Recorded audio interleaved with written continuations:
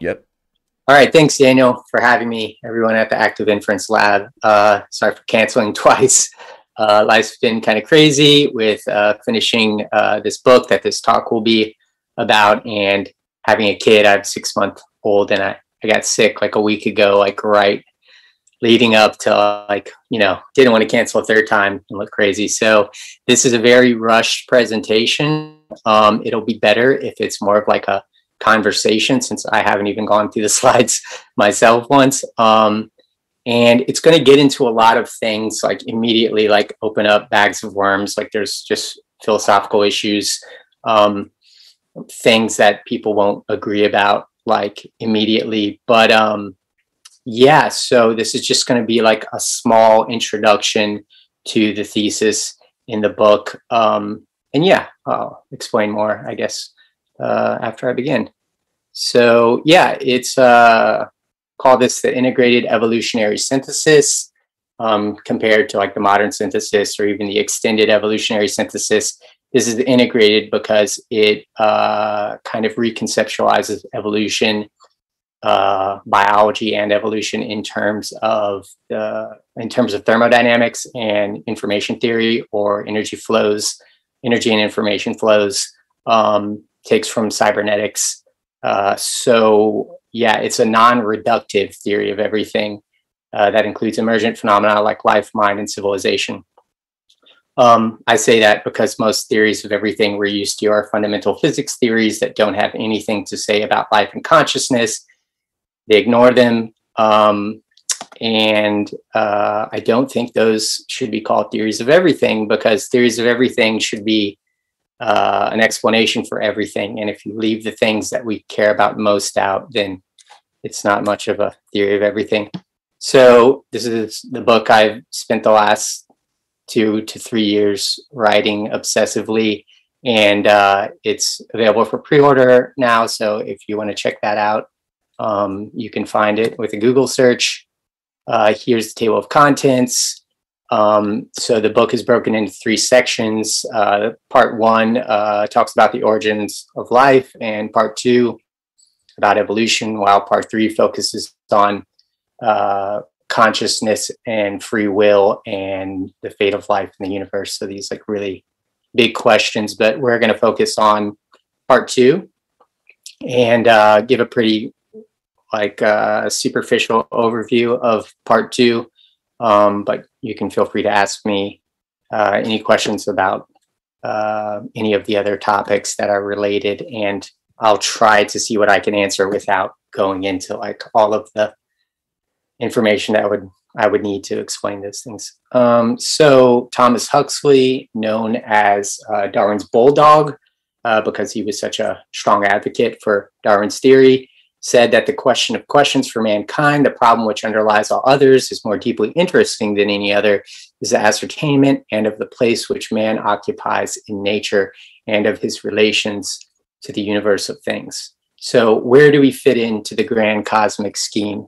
Um, most scientists in the 20th century, and I would even say now, um, believe uh, that we are an accident. So, uh, Jacques Monod, uh, French um, biochemist who won the Nobel Prize for uh, physiology and medicine, um, wrote a book called Chance and Necessity, which was really influential and he was just as reductionist as you can get. Man at last knows that he is alone in the unfeeling immensity of the universe, out of which he emerged only by chance.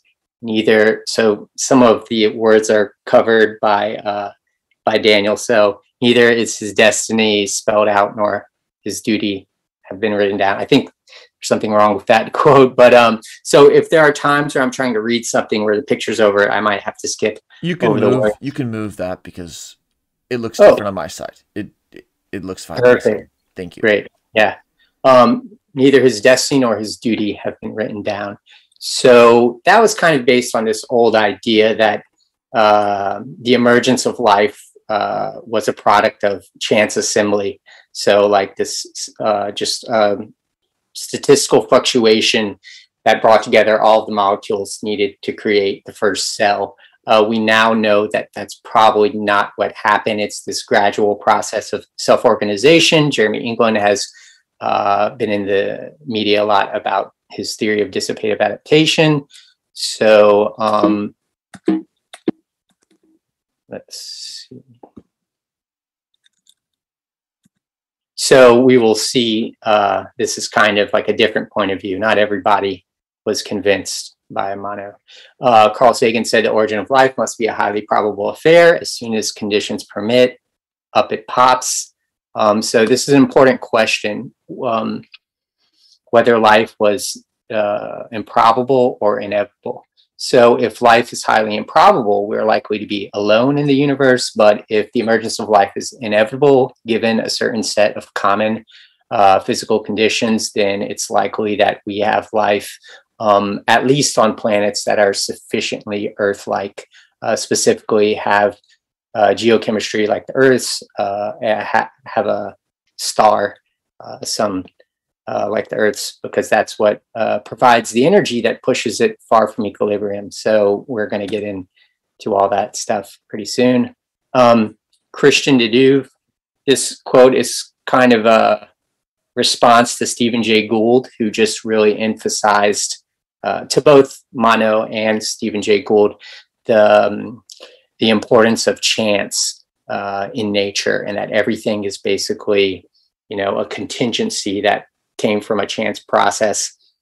Um, where de says that you know you can have this inevitability that some philosophers would see as as teleology, um, but it doesn't mean that uh, this inevitable progress is being driven by a supernatural force. Uh, he explains that the natural constraints within which chance operates are such that evolution in the direction of increasing complexity was virtually bound to take place if given the opportunity. Chance does not exclude inevitability. So he was also a Nobel Prize winning uh, biologist, the same uh, category as Monod, but had the complete opposite opinion. Um, and we can talk about that too. Basically, um, when uh, systems are open systems and they're pushed far from equilibrium by a flow of energy, you basically uh, get something like um, a statistical bias away from what we would expect with isolated systems, closed systems that aren't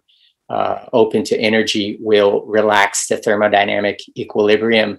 And uh, when a system is being pushed far from equilibrium, uh, it will naturally organize because uh, organization uh, happens uh, under the flow of energy, and we're going to see exactly why. It's a Darwinian process, but basically, um, you get inevitability if you have the right ingredients.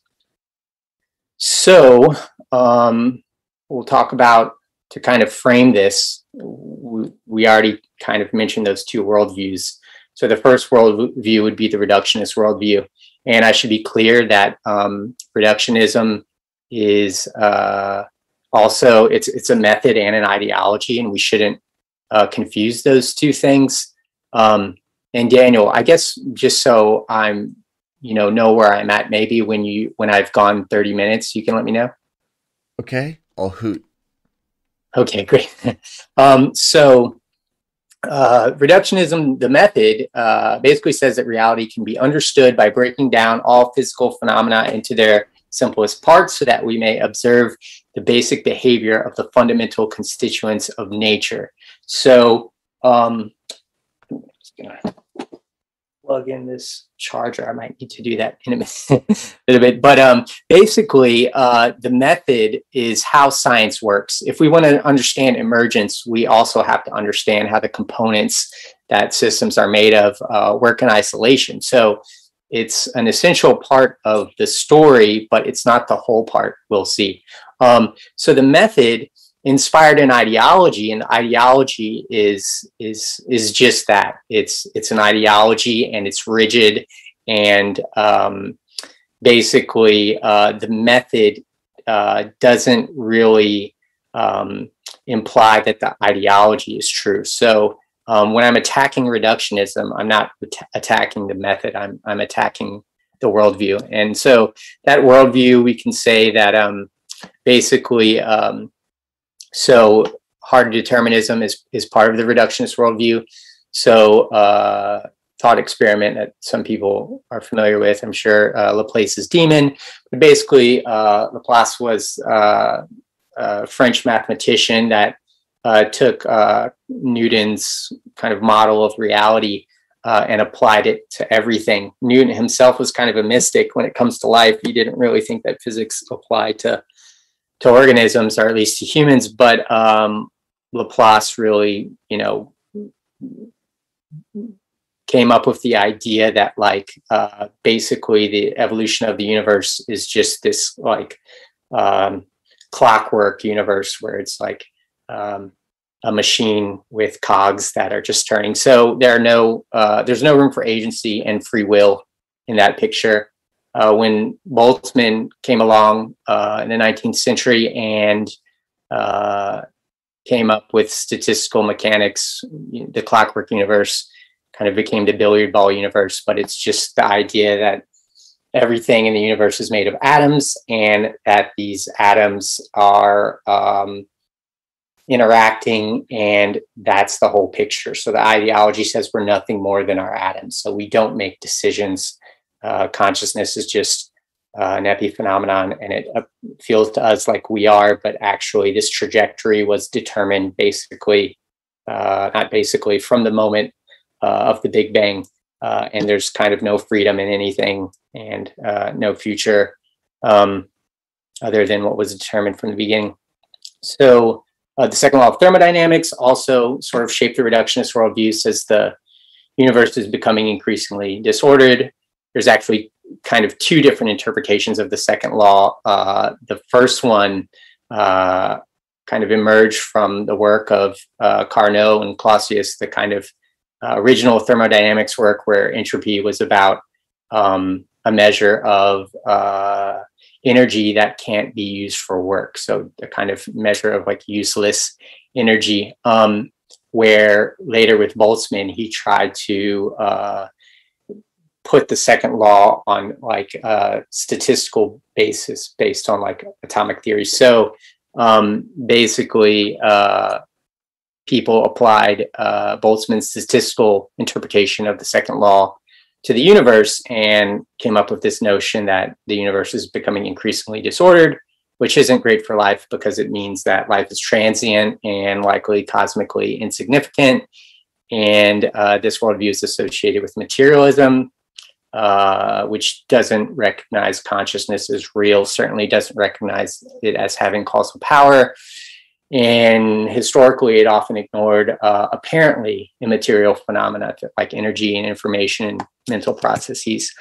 Um, I am just going to grab my charger.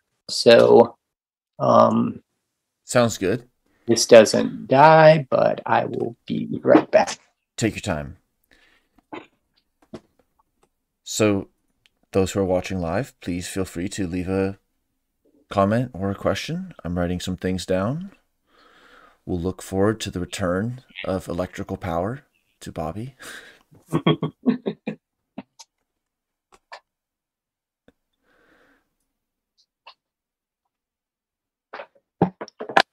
All right. My first live stream, I will be more prepared when I return part two. That's something else I told Daniel is that this is kind of like part one that I'd like to come back and talk about uh, the ideas that come after. Well, so it, we'll have um, we'll have fifteen point two. It'll be awesome. It's an infinite sequence. It's the sequence is always yours. Great. Okay. Um, so reductionist worldview says that all life forms, including humans, are nothing more than collections of atoms obligatorily following fixed and arbitrary mechanical trajectories determined solely by math and not by mind. So, um, this worldview, if the, if you convince someone that they don't have free will because you tell them about the reductionist worldview, um, there was actually a study where they did this and they uh, read participants a passage from Francis Crick explaining that uh, it appears that we don't have any free will. Um, the participants actually, on subsequent tests, uh, were more like more likely to cheat on the test because they felt like they didn't have any personal responsibility. They weren't making the decisions, therefore they could cheat. That's kind of funny because they are actually. You can see that like by what they're like uh, being told, they they are changing uh, their behavior. So it is having some kind of effect. If we do in fact have agency or free will, and we're kind of talking about agency. Uh, we don't really get into free will, but those are related topics.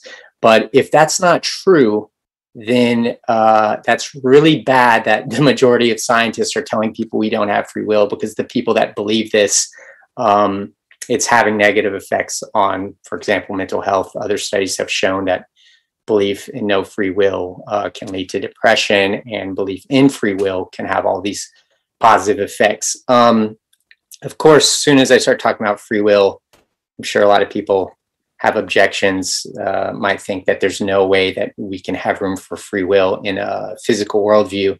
Um, but that's exactly what we're going to begin to talk about today uh, the causal power of information, and that basically organisms are agents that are uh, cybernetic control units. So, uh, uh, as controllers, uh, we do have agency.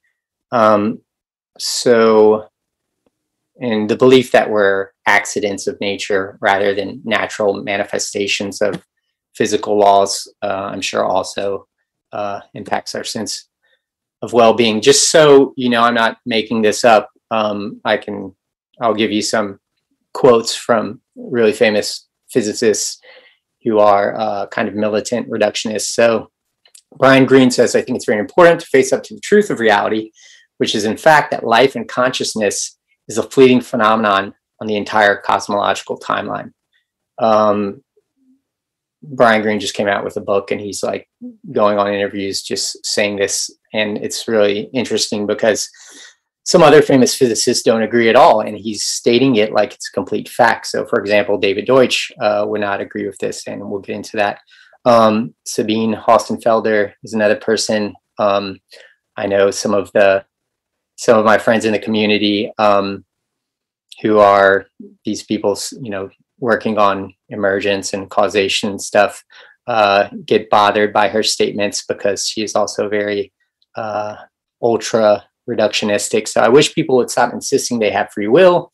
It's terribly annoying. Insisting that free will exists is bad science, like insisting that horoscopes tell you something about the future. It's not compatible with our knowledge about nature. So uh, I'm saying that's wrong. Uh, we won't get into free will that much, but if you have questions at the end, we will talk about how information, adaptive information, uh, gets built up by evolution in uh, adaptive systems, complex adaptive systems, and you will see how uh, these systems actually do control their own future. So Sam Harris is another anti-free will person, says, you're not controlling the storm and you are not lost in it. You are the storm. So it's kind of funny because he's using a metaphor here, but what this story kind of reveals is that uh, yes, we are a storm. That's right. We are a dissipative structure, like a storm uh, emerges to dissipate uh, an energy gradient. And uh, we're not really going to talk about that. That's what the first part of the book is about, the origins part. But um, I'm just pointing it out because it's interesting because we are like a storm in that aspect, but we also differ from a storm because a storm does not have agency. A storm does not have the ability to seek out new energy gradients. It's just kind of um, being pushed around by these gradients in nature where uh, organisms are actually uh, controllers. And so you are storm, but you do have control over the storm. So uh, these people are kind of have the opposite view. So Giulio Tononi, uh, creator of integrated information theory, says there is true free will. A uh, great lecture that just popped up, I think, months ago, where he gives a two-hour talk on uh, basically integrated information and uh, how it shows that systems do have causal power and uh, in a way uh, have free will so depending on your definition of free will um, we do have free will according to his model. David Deutsch said in an interview with John Horgan just uh, a year ago or so, I'm sure we have free will. Christoph Koch says, explains how, you know, there are a lot of experiments, the Libet experiments, um, which we will talk about next time, that uh, basically uh, some people interpret it as, as not having free will, but actually uh, we will see later um, when you deliberate, uh, that's actually an act of free will. The, these choices where we're actually where you bring your entire conscious being to that question and try to analyze it under all the various conditions. And actually, uh, there was a study Koch did that kind of showed that the Libet, study uh, um, was kind of interpreted wrong. And um, for anyone who understands that stuff, uh, the readiness potential that was supposed to be proof that there was no free will disappeared when the decisions uh, involved uh, deliberation. So yeah, that's kind of meandering, but I, am sure a lot of people are interested in this bigger picture of why this emergence paradigm is so radically different from the reductionist paradigm. It kind of uh, puts information front and center and uh, systems that process information uh, complex adaptive systems are computational systems, and these systems, uh, in the with these systems, information actually does have causal power. We're going to explain what we mean by that. So, paradigm of emergence. Uh, the collective says the collective behavior of interacting parts, not simply how they function in isolation, is key to understanding the emergence and evolution of all the fascinating organisms and ecosystems that make up the biosphere. So it's really not about just like particles, it's about the patterns that emerge when uh, these systems find these certain configurations uh, through basically Darwinian mechanisms. And we'll see that self-organization too uh, has a Darwinian dynamic. Um, each emergence in the cosmic self-organization process is brought about by a higher order phase transition that moves life ever further away from a state of thermodynamic equilibrium and total disorder. I'm assuming the audience knows uh, that what thermodynamic equilibrium is. It's basically uh, if you have, for example, Boltzmann took a model of um, an ideal gas and explained that, for example, if the gas molecules are bunched up in the corner, uh, naturally it's going, the, the gas is going to spread out until there's no pattern and uh, basically it's like a completely mixed up state. Um, so equilibrium is associated with death and disorder uh, because uh, systems naturally tend toward this more uh, mixed up, uh, unpatterned uh, completely chaotic state. Um, of course, uh, later we're going to talk about uh, why open systems that that rule doesn't apply. Basically, systems that are open to the flow of energy can resist this tendency towards a disorder. And that's really what the whole story is kind of based on. Um, so through a nested series of such phase transitions, these are also called these higher order phase transitions are major evolutionary transitions. John Maynard Smith talked about them, and metasystem transitions by the cyberneticist uh, Valentin Turchin. Uh, basically, the same concept with some subtle differences. So, the idea is that cosmic self organization is a series of these uh, transitions where functional things come together to make larger functional ones, which come together to even to make even larger ones, and so on. And through this process, adaptive complexity or life, so that's a more general way to talk about life, uh, becomes better equipped to dominate the cosmos. Uh, life requires an organization that is increasingly hierarchical and integrated and therefore more resilient and computationally powerful. So here are just a couple of figures. Um, you see this hierarchy uh, in this structural hierarchy of matter and life. This was adapted from a big physics journal. I can't remember uh, which one it was, but um, basically, you know, physicists are recognizing this hierarchy even when it extends to life. So Geoffrey West's book Scale comes to mind. Uh, and so we see the hierarchy of science kind of naturally mirror this hierarchy of matter and life. And um, the reductionist picture would say that these things at the top here um, are kind of insignificant parts of the story, transient, um, but we will see that this, you know, the more we go up, the more influence uh, on cosmic evolution the phenomena have.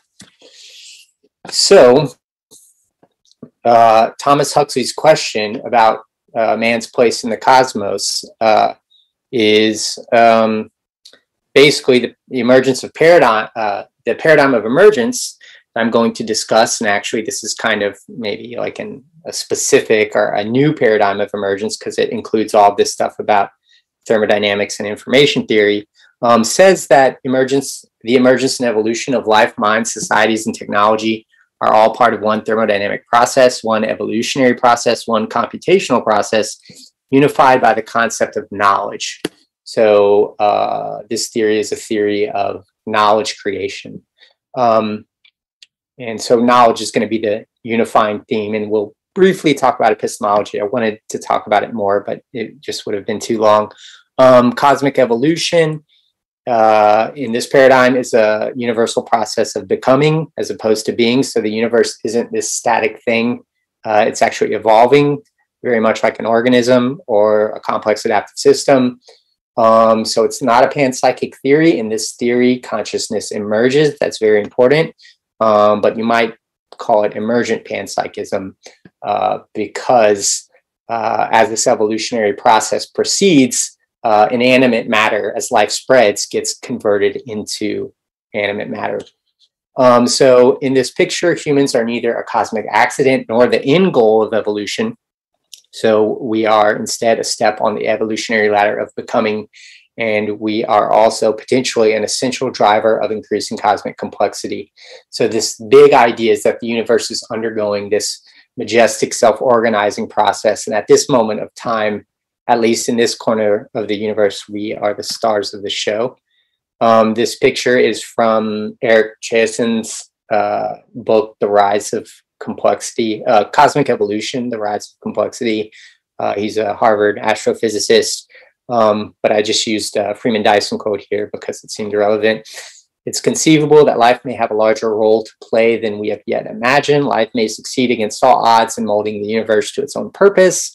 So I guess Brian Greene doesn't buy that at all. But um, if that's true, then uh, as phys- as cosmolog- cosmologists have to think about the the role of life. There's a lot of people who have said similar things, like Seth Lloyd and famously Raker as well. Um, so, just a couple quotes here, so you know you know when when people hear these terms progress there's just this stigma uh, immediately they thought like oh someone's trying to sneak in religion or some intelligent design theory um, so you see these trusted names of physics here david deutsch has narrowly conceived evolutionary theory considers as mere vehicles for the replication of our genes or memes and it refuses to address the question of why evolution has tended to create ever greater adaptive complexity or the role that such complexity plays in the wider scheme of things. So there is clearly implying that adaptive complexity does have this larger role to play. Um, we now see how it is possible for the universe to increase both organization and entropy at the same time. The optimistic and pessimistic arrows of time can coexist. The universe can display creative unidirectional unidirectional progress even in the face of the second law. Physicist Paul Davies says that. Um, so that's really uh, kind of a, a key point uh, in this is that um, the second law actually is in a sense driving this increasing progress. So not only can we have unidirectional progress in the face of the second law, uh, it seems that this progress requires the second law uh, because we'll see that the second law is the basically the natural selection pressure for uh, self-organizing systems. So in a sense, the second law is both uh, Shiva the destroyer and Brahma the creator. Um, so uh, a goal of this unifying theory of reality, uh, I've, been calling the Great Consilience. It was actually a name uh, suggested by Marco Lin, who is a, is a Fristonian and influenced uh, some of this talk um, so basically, the unifying theory of reality illuminates the connection between complexity, cognition, consciousness, and cosmic evolution, or matter, mind, and cosmos. Um, and it's really based on complexity science. It's a lot broader than complexity science, but I guess that name kind of, in a way, includes everything. So it's a unification of major sciences of our time, including but not limited to physics, biology, neuroscience, computer science, evolutionary theory, and statistics.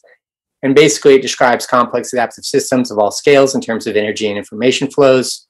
So it uses statistical thermodynamics, information theory, and cybernetics. Um, so we will talk about those a bit uh, coming up. So if you want to see kind of like a, a map of what sort of informs uh, this non-reductive theory of everything, here you go. So I know this is a lot of information, so I'll kind of try to simplify this for everyone. Um, there are some unifying paradigms that have emerged. So basically, this theory is nothing new. It's basically evolutionary epistemology. Um, after that came universal Darwinism. And later, uh, right now, we're seeing this kind of revolution with like Bayesian inference and these ideas being applied to everything. Um, so, uh, being informed uh, by these um, paradigms and uh, combining those paradigms or updating them, I should say, with uh, information from non-equilibrium thermodynamics. So we're talking about the thermodynamics of open systems, uh, information theory, so Shannon's theory. Um, some of you will know that information theory is related very closely to non-equilibrium thermodynamics and basically uh, Boltzmann's statistical entropy is mathematically the same as uh, Shannon entropy or information entropy, which is a me measure of uncertainty. Um, if I had more time, I would go through thermodynamics and the different types of entropy, but uh, we don't have time for that. But if anyone has any questions, I can clarify. Um, cybernetics was basically information theory um, applied to biology, adaptive systems. It was the first science of adaptive systems, really. And uh, it's funny, while writing this, uh, I found out because, you know, I hadn't I, I, had heard the name cybernetics, but it wasn't clear how important it was. Um, in a talk by uh, Jim Crutchfield, uh, Santa Fe Institute, basically revealed that uh, because cybernetics got associated with like the Russian, uh, like during the Cold War, kind of like the Russian agenda, um, cybernetics was used to design like heat-seeking missiles. Uh, Norbert Wiener's uh, theory was almost immediately applied for military uses. And because of that, it stopped being taught in American colleges. Um, so, uh, yeah, it's really important. And it was actually uh, emerging at the same time as information theory. People were already uh, thinking about systems in terms of information flows, but it's more than information theory because it's a science of feedback. Um, so dynamical systems theory or complex adaptive systems is kind of like an offshoot of that. Um, all of these inform what I've called universal Bayesianism. I'm not the only person to call it that. Um, I had searched that term and found Adam Safron's uh, paper on integrated world modeling theory that used that same term. But uh, John Campbell has been a researcher um, who has uh, done a lot to show this equivalence between uh, evolutionary processes and processes of Bayesian inference. We're going to talk about that in a little bit. Um, so yeah, if anybody has any questions about that, but really all of these things, origin of life research, integrated evolutionary theory, um, if you haven't checked out the work of these people, like everybody here is worth reading their work. But uh, so from that, we get a unifying theory of reality that is based on what I call the evolutionary epistemology, universal Darwinism, universal Bayesianism framework. That's a long name. I'm aware of that, but it's just to show that these three theories are basically the same theory. Um, so, universal Darwinism says that the universe is evolving at every scale through both competitive evolution and through self organization, which is cooperative evolution among agents that have formed a collective unit. So it started with Richard Dawkins and his concept of the meme and the selfish gene that uh, memes uh, were these uh, cultural units uh, that were equivalent to genes.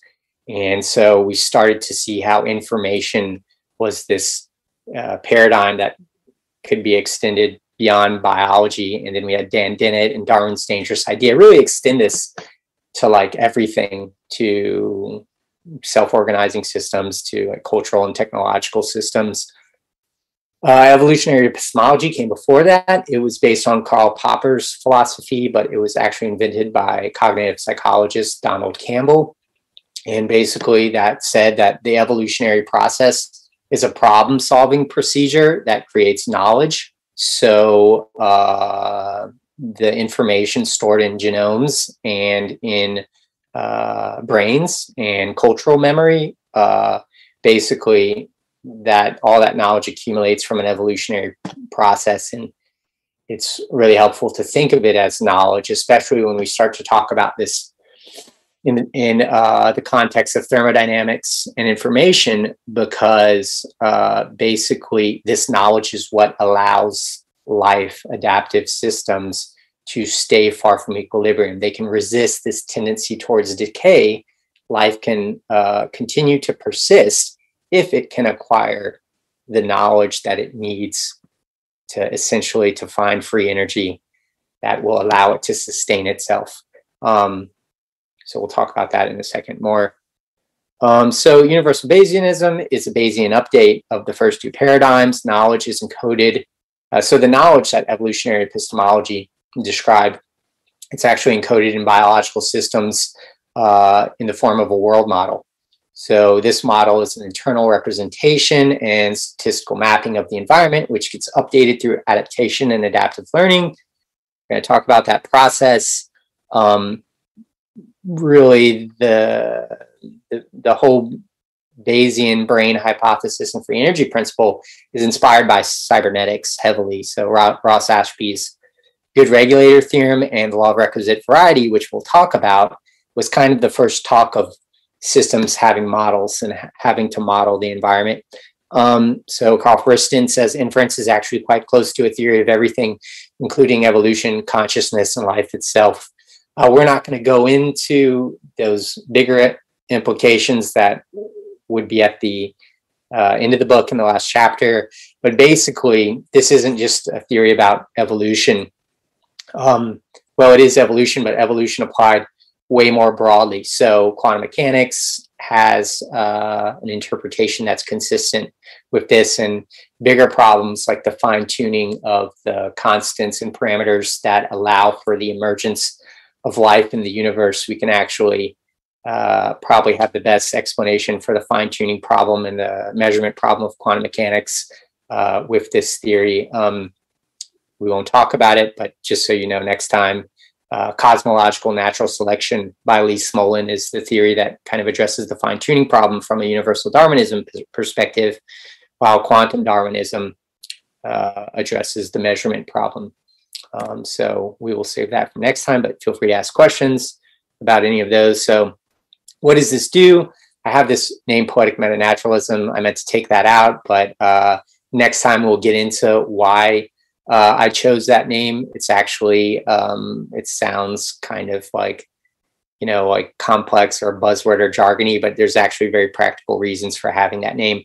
Um, so this uh, unifying theory bridges matter with mind. So universal Darwinism gives us a picture of the open-ended complexity growth uh, that this whole idea is based on. The idea that evolution keeps producing uh, increasingly complex, intelligent forms of life. Excuse me.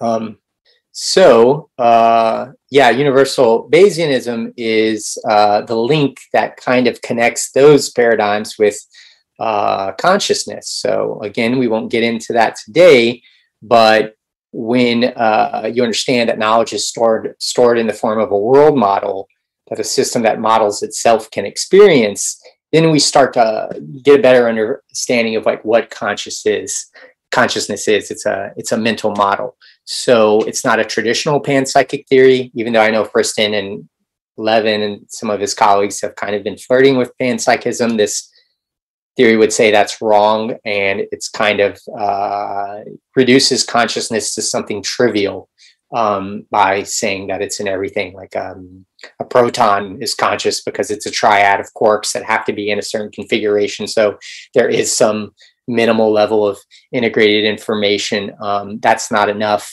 uh, to get a conscious experience to get an observer. Um, so Safron's integrated world modeling theory says that you need a model with spatial, temporal, and causal coherence. I would also argue that it requires self-modeling capacity. Talk about that a little bit at the end if anyone's interested. Um, but this theory is supposed to bridge mind with cosmic evolution. So the story starts with the second law. Um, Daniel, if there's any questions about that like intro, let me know. Yeah. Uh, if not, I can just proceed. Could I ask two questions from the chat? Sure. Okay. The first question is from Blue. Blue wrote, do you think that non living autonomous agents with multiple competing priorities, such as self driving cars, have free will? If not, what is the defining difference between these systems and humans?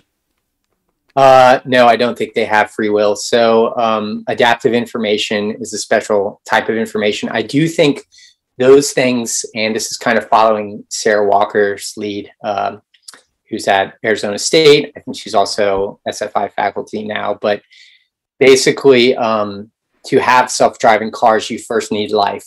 So anything like a self-driving car, that's like this information processing system.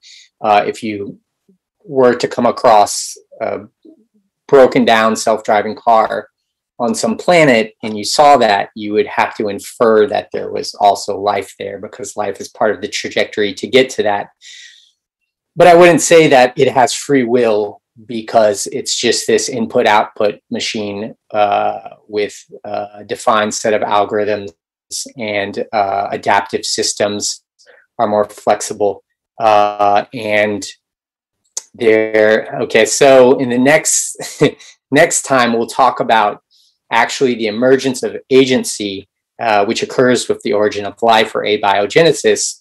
And you basically um, because this self-organized system that would be kind of like the proto cell um, is evolving through a mechanism that a Darwinian dynamic for self-organization that we'll explain in a bit. It builds up information, and at some point, there's a phase transition where the information that's getting built up in the system uh, basically uh, gains what Sarah Walker and Paul Davies call informational control. So there's a point where information actually starts calling the shots.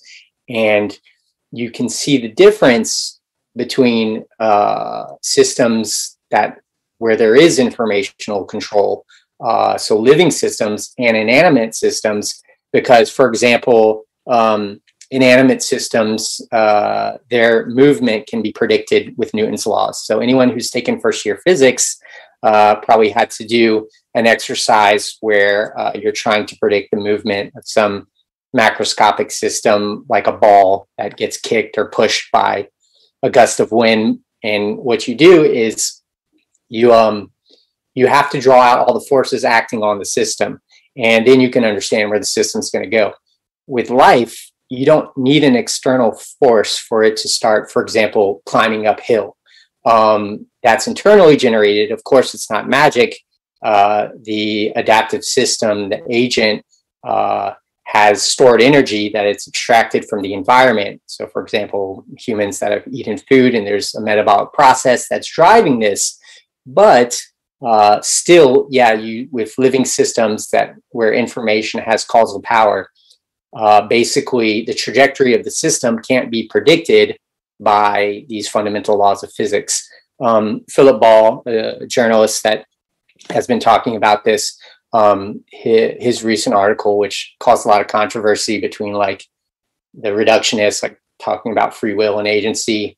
Um, and there's a lot of confusion around that. So people like Jerry Coyne were like trying to shoot it down. And yeah, hopefully I can talk about that. Um, I guess we'll talk about that next time because there's a lot of uh, confusion about what we're saying when we say something has agency or free will. But his example is if you throw throw a ball and a bird off a tower, and you can predict what one is going to do. You can't predict what the other is going to do. Um, interestingly, though, I would say that the bird's not completely unpredictable. You can predict that it's not going to hit the ground. It's not going to splat on the ground. It's going to fly away. Uh, you have to understand the bird in terms of its goals. So you have to understand, you know, the bird and its environment and the information that got built up through evolution. And then we can start to predict the bird, uh, its statistical behavior. So in animate systems, you can pretty much precisely predict the movement unless they're chaotic systems, which is another story. But with life, um, yeah, it's not predictable in that same way with like low level laws of physics. But uh, I'm arguing that actually life is more predictable than we've thought. But you need things like uh, non equilibrium statistical mechanics and, for example, uh, free energy principle um, so you can say that you know an organism will try to minimize free energy or uh, minimize the difference between uh, its models prediction and reality. So it'll try to minimize prediction error, and that's a way that we can start to describe uh, behavior statistically. So, um, yeah, was there another one? Yep. Can I ask a second question? Yeah, I, I know I didn't completely answer that, but uh, that will require like the all of the points that I would get into in the second talk. But it's a great question. Yeah.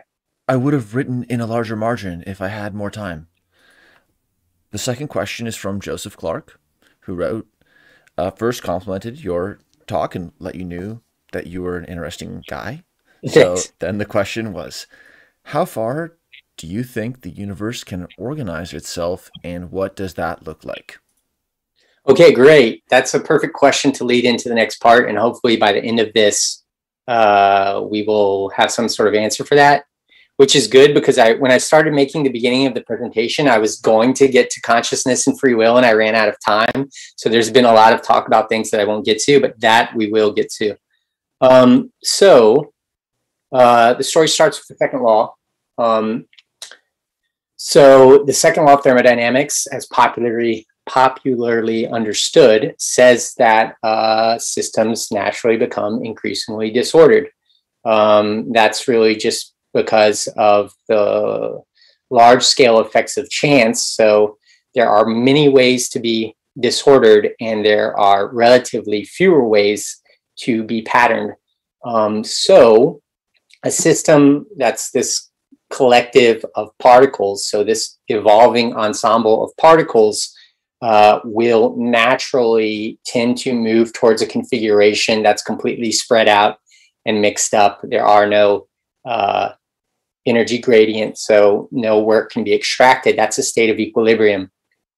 So we are going to use this word, thermodynamic equilibrium, uh, to mean death and disorder. So life wants to resist the tendency towards equilibrium. It wants to stay ordered. Uh, what's interesting about this is that it applies to all. This is kind of like where the free energy principle and Friston's Bayesian brain hypothesis it, it, it frames everything this way. So I thought it was a good way to kind of frame it here is that you start with the second law and any conceivable system, any ordered system, for it to continue to persist, has to resist this uh, tendency. So um, basically, uh, Schrodinger, the guy everybody knows from quantum mechanics and the in the cat thought experiment, he wrote a book called "What Is Life" in the 40s, and uh, basically kind of solved this paradox. Like, if there's the second law and things become more disordered, then what's with life and what's with the biosphere and all of this complexity that we see around us? And he explained. Actually, Boltzmann explained this before him um, but Boltzmann said a lot to contradict this as well, um, or just didn't follow this to its implications. But uh, Schrodinger explained that open systems, uh, by feeding off uh, free energy in the environment. So free energy is just energy that uh, you can extract work from. So it's ordered energy as opposed to energy that's been dissipated in the form of heat. You can't extract energy uh, uh, useful energy from that energy. It's still there. It's just spread out, and it's it's you can't harness it. Collecting it would cost more than you get out of it. So um, Schrodinger explained that uh, if a system can get free energy, which he called negative entropy or energy, uh, neg entropies was called by uh, someone later. Um, so to understand how ordered systems stay ordered, uh, you basically need to understand that they have to uh, constantly be extracting free energy from the environment. The moment that they can't extract more free energy is the moment that the system dies and decays to equilibrium. So um, basically, uh, the second law is not violated by life because um, in this effort to stay far from equilibrium, life it keeps extracting that ordered free energy and keeps dissipating it as heat. So, uh, so it's basically exporting entropy into the environment. So the order um, that is maintained uh, is paid for by the dissipated energy, which come, becomes thermal entropy. So there are multiple definitions of entropy. So you have thermal entropy, which is heat entropy, and then statistical entropy, uh, which explains thermal entropy, but it has a broader domain of application. So you can talk about shuffling a deck of cards, and you can talk about like the statistical entropy increasing uh, if the deck is ordered and it starts becoming mixed up through the shuffling. But the deck of cards, the thermal entropy, uh, isn't changing much at all. So there's different types of entropy. There's also information entropy, which has to do with the um, uh, the number of messages that could be sent across the channel instead of um, the number of states that a system can be in the number of microstates without changing the macro state, macro state or uh, the kind of um, collective properties of the system. Uh, there's a really neat relationship between statistical entropy and information entropy, which I won't talk about here. It was really fleshed out by uh, E.T. Jaynes. Uh, but yeah, so information and entropy like go hand in hand. Um, just to give a little more context before we get into the details. Uh, David Deutsch in this great TED talk um, called After Billions of Years of Monotony, the Universe is Waking Up, says if one can speak of a cosmic war, it's a war between monotony and novelty, between stasis and creativity. And in this war, our side is not destined to lose. If we choose to apply our unique capacity to create explanatory knowledge, we could win. So that's very different than Brian Greene's story. And it kind of gets at the second question that was asked there. How, how far can this complexity increase go? And so this kind of foreshadows that maybe it doesn't have a limit. And that seems, you know, most people think that would go against the second law of thermodynamics. We're going to see why that's not necessarily true. Um, but you can also see this cosmic war as this fight between order versus disorder, life versus entropy, and knowledge versus uncertainty or ignorance. Um, but is life's battle against disorder uh, good versus evil or yin and yang? So I'm going to kind of argue that these two things kind of have this, uh, you could describe their relationship as causally dependent. And it's kind of like this dialectic between life and uh, disorder. Um, and it is through this sort of uh, interaction that uh, creates progress. So we have some Eastern ideas mentioned again. Um, but I, when I was writing the book, a friend that practices Buddhism called me and told me about this interdependent co-arising idea, which I thought was really cool. So we're going to come up with this, what we call Popper's principle, which is uh, problems create progress. We're going to see that this problem of entropy, that this tendency towards decay is what actually uh, forces systems to evolve. Basically, it forces them to search what's called the configuration space or the phase space or the state space to find configurations that are good at extracting energy and that allows it to stay far from equilibrium. So we're going to have some figures soon. So this stuff that's kind of abstract becomes a little bit more concrete. Just out of respect to the earlier request, how about you check the time and feel then how fast you'd like to continue, however much you want to present, and then if you want to take any questions. But first, just check the time and let just. I I how I, I didn't uh I didn't uh, notice when we started. So, about how long have I been going? I would say five zero minutes. Really? Okay. How long can we go? We can go another uh, 99 minutes. okay. Um, I'll try to go through it a little bit faster. Um, but yeah, so, um, but if we use all the time, I told you yesterday that I was feeling, uh, oh, I had a sore throat and uh, the sore throat's better today. I'm hopped up on cold medicine. I'm sure I'm going to, I'm going to pay for it tomorrow. But um, yeah, if we use all the time with questions, that would be good. Uh, so in our everyday experience, things don't naturally become ordered unless someone intervenes. Rooms get messier, buildings erode.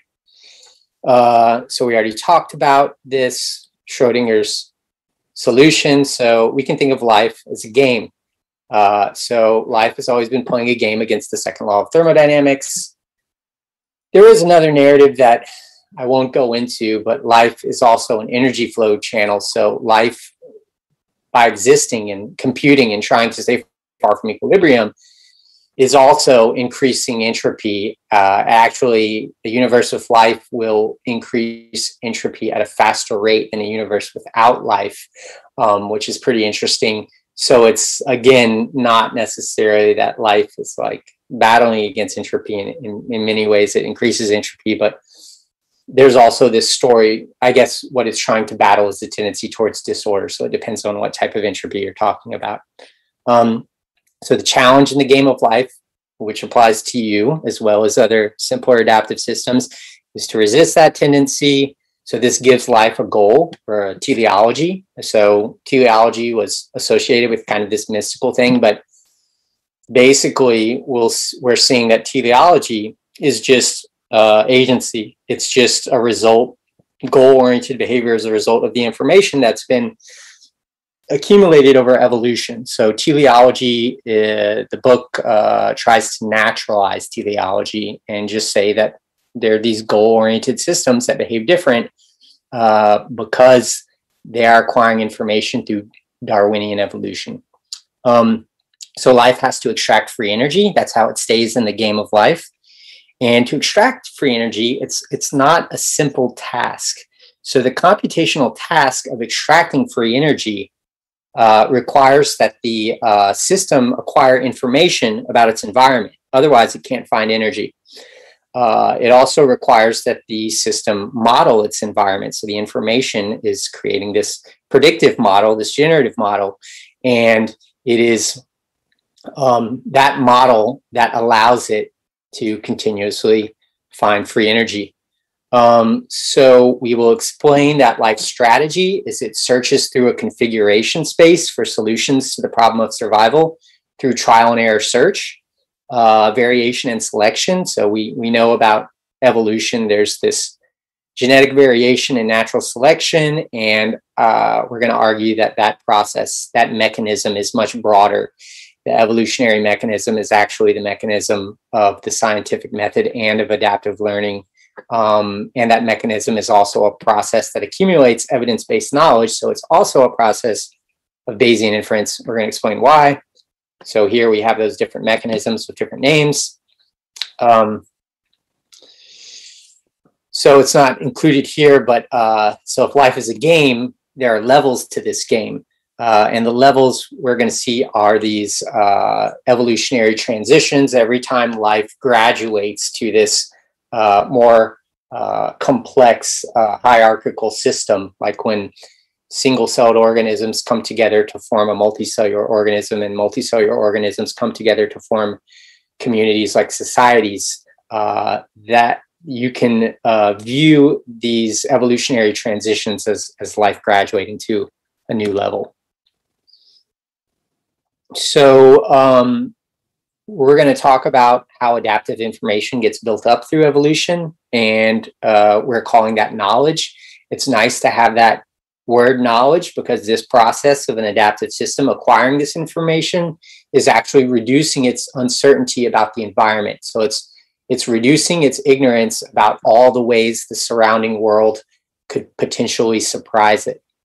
Uh, so knowledge is a nice word. Some philosophers, like old school philosophers, might have issue with that um, because in some teachings, like knowledge is something that like conscious beings with like awareness have but we're calling any adaptive information knowledge and it's got more of a technical definition because knowledge is that information which reduces uh, uncertainty and you could actually quantify this process of evolution. Terrence Deacon has talked a lot about how you can do that with uh, information measures.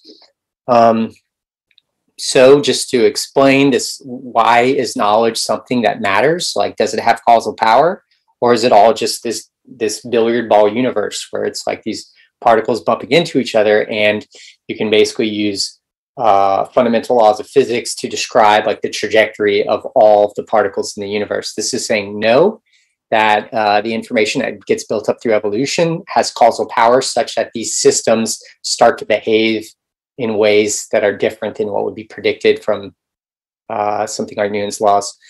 So we also have this process of anti-accretion that Sarah Walker likes to talk about. Uh, but anti so anti-accretion is uh, basically we're familiar with uh, planets pulling in matter. So bodies like asteroids because uh, gravity pulls matter in naturally, but anti-accretion is when a planet is ejecting matter. And uh, in many cases, what well, so the, the only time we really see anti-accretion uh, is when you have a planet with life on it. So um, right now, uh, bits of biosphere, so humans and space rockets, are being sent to other celestial bodies. So that's a form of anti-accretion, uh, sending up satellites. You won't see a satellite get sent out if you see that in the universe, uh, like you're looking at some other solar system and you see a body uh, sent out and put into orbit from a planet, that's an indication that life is there. That's a biosignature. Um, so she says that anti accretion requires comprehenders, specifically the existence of physical systems with knowledge of Newton's laws. Um, so, what does it all mean? Um, it means we need knowledge uh, to uh, keep us out of thermodynamic e- equilibrium. Um, so, how do we acquire knowledge? Uh, science is the most uh, is the most salient example of the causal power of knowledge. So, science uh, has uh, eradicated lethal diseases, built a global communication network called the internet, and created weapons of apocalyptic power. It's not always good, this power of knowledge, but um, uh, we see that there's something about the scientific method which is efficient at uh, accumulating knowledge. So we're going to talk about why, and that's where we get into Karl Popper and evolutionary epistemology. Um, so we know knowledge is important. Karl Popper says we're always faced with practical problems, and out of these grow sometimes theoretical problems, for we try to solve some of our problems by proposing theories. So uh, Popper stresses that all of science starts with a problem, either theoretical or practical. Um, and it is that problem that forces us to seek out a solution. So we can already see why this principle that I've called Popper's principle uh, uh, says that problems create progress. So some of these theories that we make to try to solve our problems will be wrong. There'll be errors. Um, but the idea with science is that those errors get filtered out by a process of testing your theories and a peer review process, which gives criticism so uh, knowledge is really uh, for knowledge for us to know that some piece of information is knowledge. It really needs to be tested, and uh, we call that evidence-based knowledge or evidence-based information. So it's really the only true kind of knowledge because you don't know if something's true until you test it. For example, um, the world doesn't look round from a naive perspective. It looks flat. So, for example, um, someone who had the first idea, you know, and I'm sure it was before anybody famous we knew someone had this idea, and probably people blew it off. But um, uh, some things that are true about reality are not immediate, immediately apparent from like sensory observation from sense data. So we really need to test our theories if we are going to be sure about them. Um, so what Popper found out was the scientific method is an algorithm. He called that algorithm conjecture and refutation. And uh, basically, this is the method of hypothesis testing. So you have a problem you believe can be solved. You make an informed guess or conjecture to see if your theory can be refuted, uh, proved false by testing its predictions. So uh, people have pointed out, like John Campbell, uh, Carl Friston, that uh, science is a process of inference. So it recognizes statistical patterns and trends in nature that we can use to make increasingly accurate predictions. Um, it would not be inaccurate then to say that the function or purpose of science is to generate predictive knowledge. Um, and we can char- characterize that as a process of inference, which basically means that scientists draw logical conclusions about the way the world works uh, based on evidence based information acquired in the past but with an ever present awareness that the information can and will lead to um, to new conclusions and deeper understanding. So when we recognize this, we also have to recognize that all of our models will have uncertainty.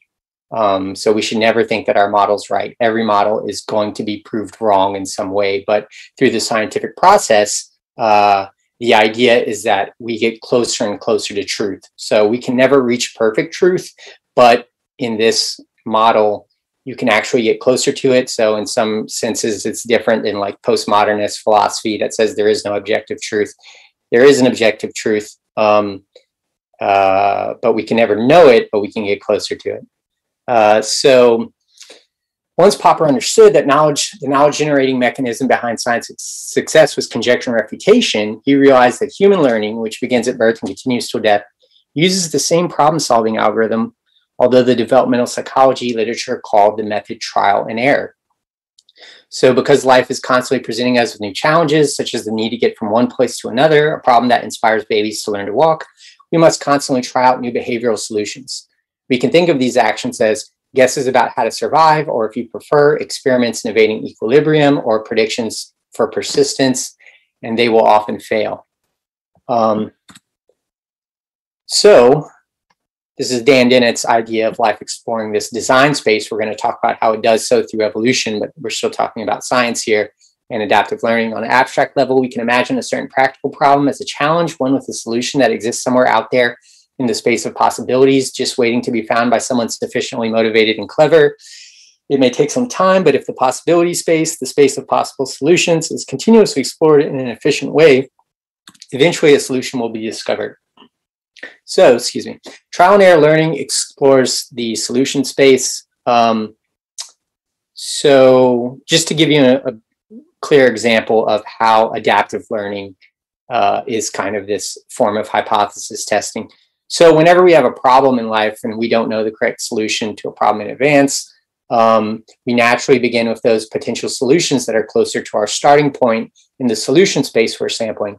So, for example, if a baby reaches for its bottle and barely misses, it'll adjust its behavior slightly, which minimizes the chances of making an error. Um, so our instincts may nudge us in the general direction of a solution, but the instinct alone is not enough. Uh, we have to try out what you could call a behavioral conjecture. And when it fails, uh, we uh, try something new. So that's kind of like a new theory. And uh, it's essentially the old one, but with a little twist. And if that behavioral solution is remembered, then it gets stored for future use, ready to be repeated, but also adapted if necessary. Um, but in humans, so the baby example, reaching for the bottle, let's say it misses the bottle, it won't get a reward signal. It won't get a little surge of dopamine. So if it corrects and it gets closer, it gets a little reward signal. This is reinforcement learning. But basically, this adaptive learning process is a process of making theories and eliminating those theories that are errors. So, uh, Popper saw that scientific knowledge and the evolutionary process uh, were also connected. So, not only is science uh, adaptive learning, uh, both of those things are extensions of the evolutionary process. So he says in science, theories are highly competitive. We discuss them critically, we test them, and we eliminate those theories which we judge to be less good in solving the problems which we wish to solve. So only the best theories, those which are most fit, survive in the struggle. This is the way science grows. Um, so that's kind of nice, like showing you really how this is an evolutionary process. Um, not only is science an evolutionary process, the converse is true. Evolution is a scientific process. So it is clear, this is another quote, it is clear that this view of the progress of science is very similar to Darwin's view of natural selection by the way of the elimination of the unfit, of the errors in the evolution of life, the errors in the attempts at adaptation, which is a trial and error process. Analogously, science works by trial, theory making, and by the elimination of errors. Um, I might pause in a second just to um, see if everybody understands this, but I have a few more slides. So um, evolutionary algorithms uh, also use this mechanism, but it's called generate and test. So I didn't mention this. Uh, the mechanism of evolution is variation and selection. So we have these algorithms that are equivalent, conjecture and refutation, trial and error, variation and selection. We also have generate and test. So in machine learning, evolutionary algorithms uh, have this method, uh, generate and test. Um, possible solutions are generated until an actual solution is found. And these solutions accumulate in some memory store while the errors are filtered out and forgotten. In science, the solutions are theories or models that accurately predict some natural phenomenon. And the successful ones accumulate in peer-reviewed journals and textbooks. So um, we see that these processes are equivalent, we're actually going to see that it's this Bayesian process, uh, that adaptation is also a process of uh, the model of the organism uh, becoming optimized, uh, decreasing its prediction error so that it can more efficiently extract free energy from an itch to stay ordered. So we get this principle um, that all evolutionary processes are learning processes and all learning processes are evolutionary processes. Um, Konrad Lorenz, a Nobel Prize winning zoologist, was also a pioneer of evolutionary epistemology, and he made the statement life is a cognitive process.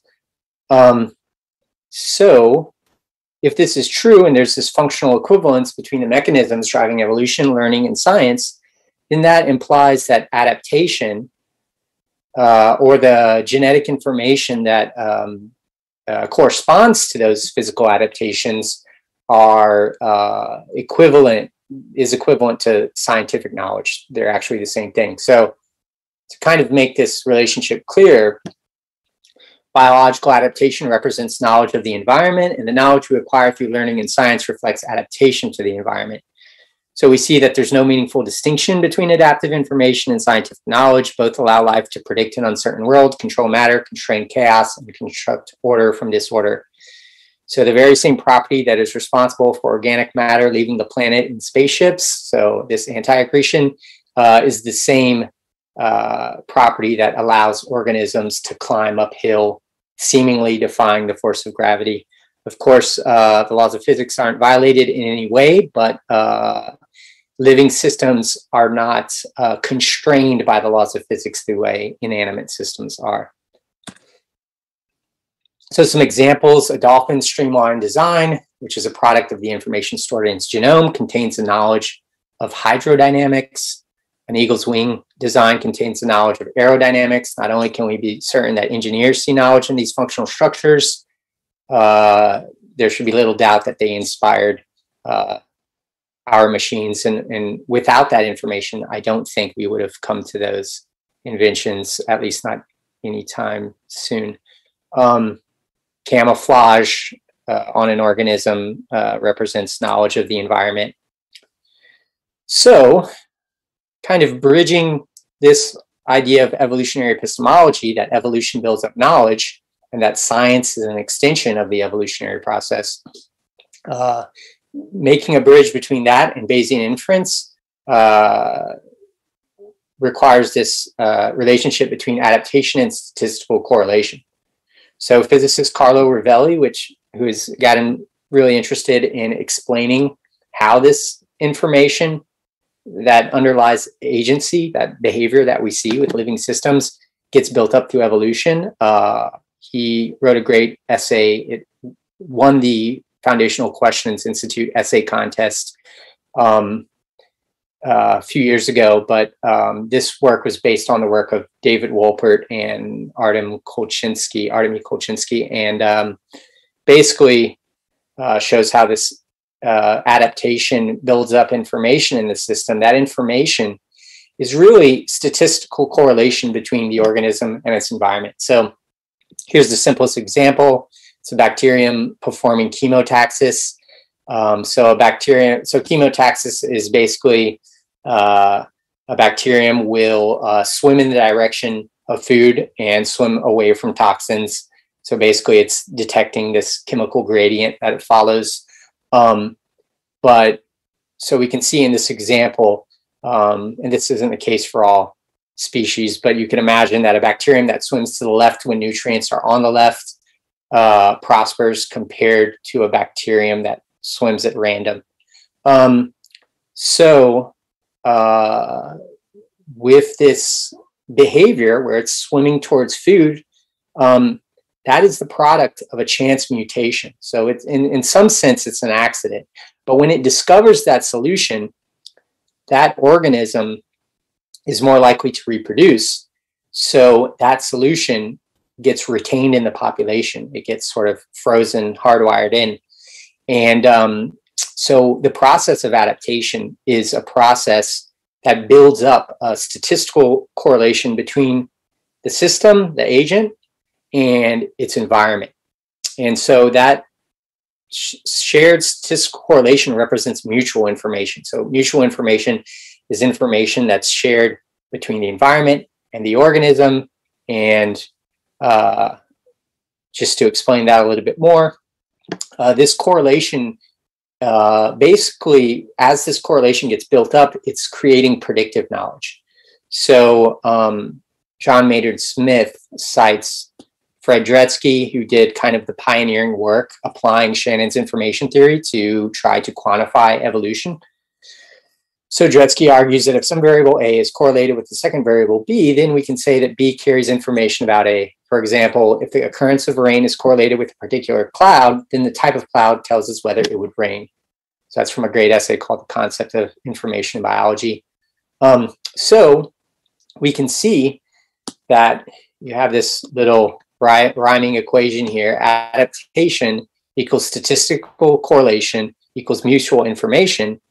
Uh, and because that uh, shared information allows the organism to predict its environment better, uh, this process is also a process of model optimization. So the predictive model of the organism, uh, as it adapts, starts to become more accurate.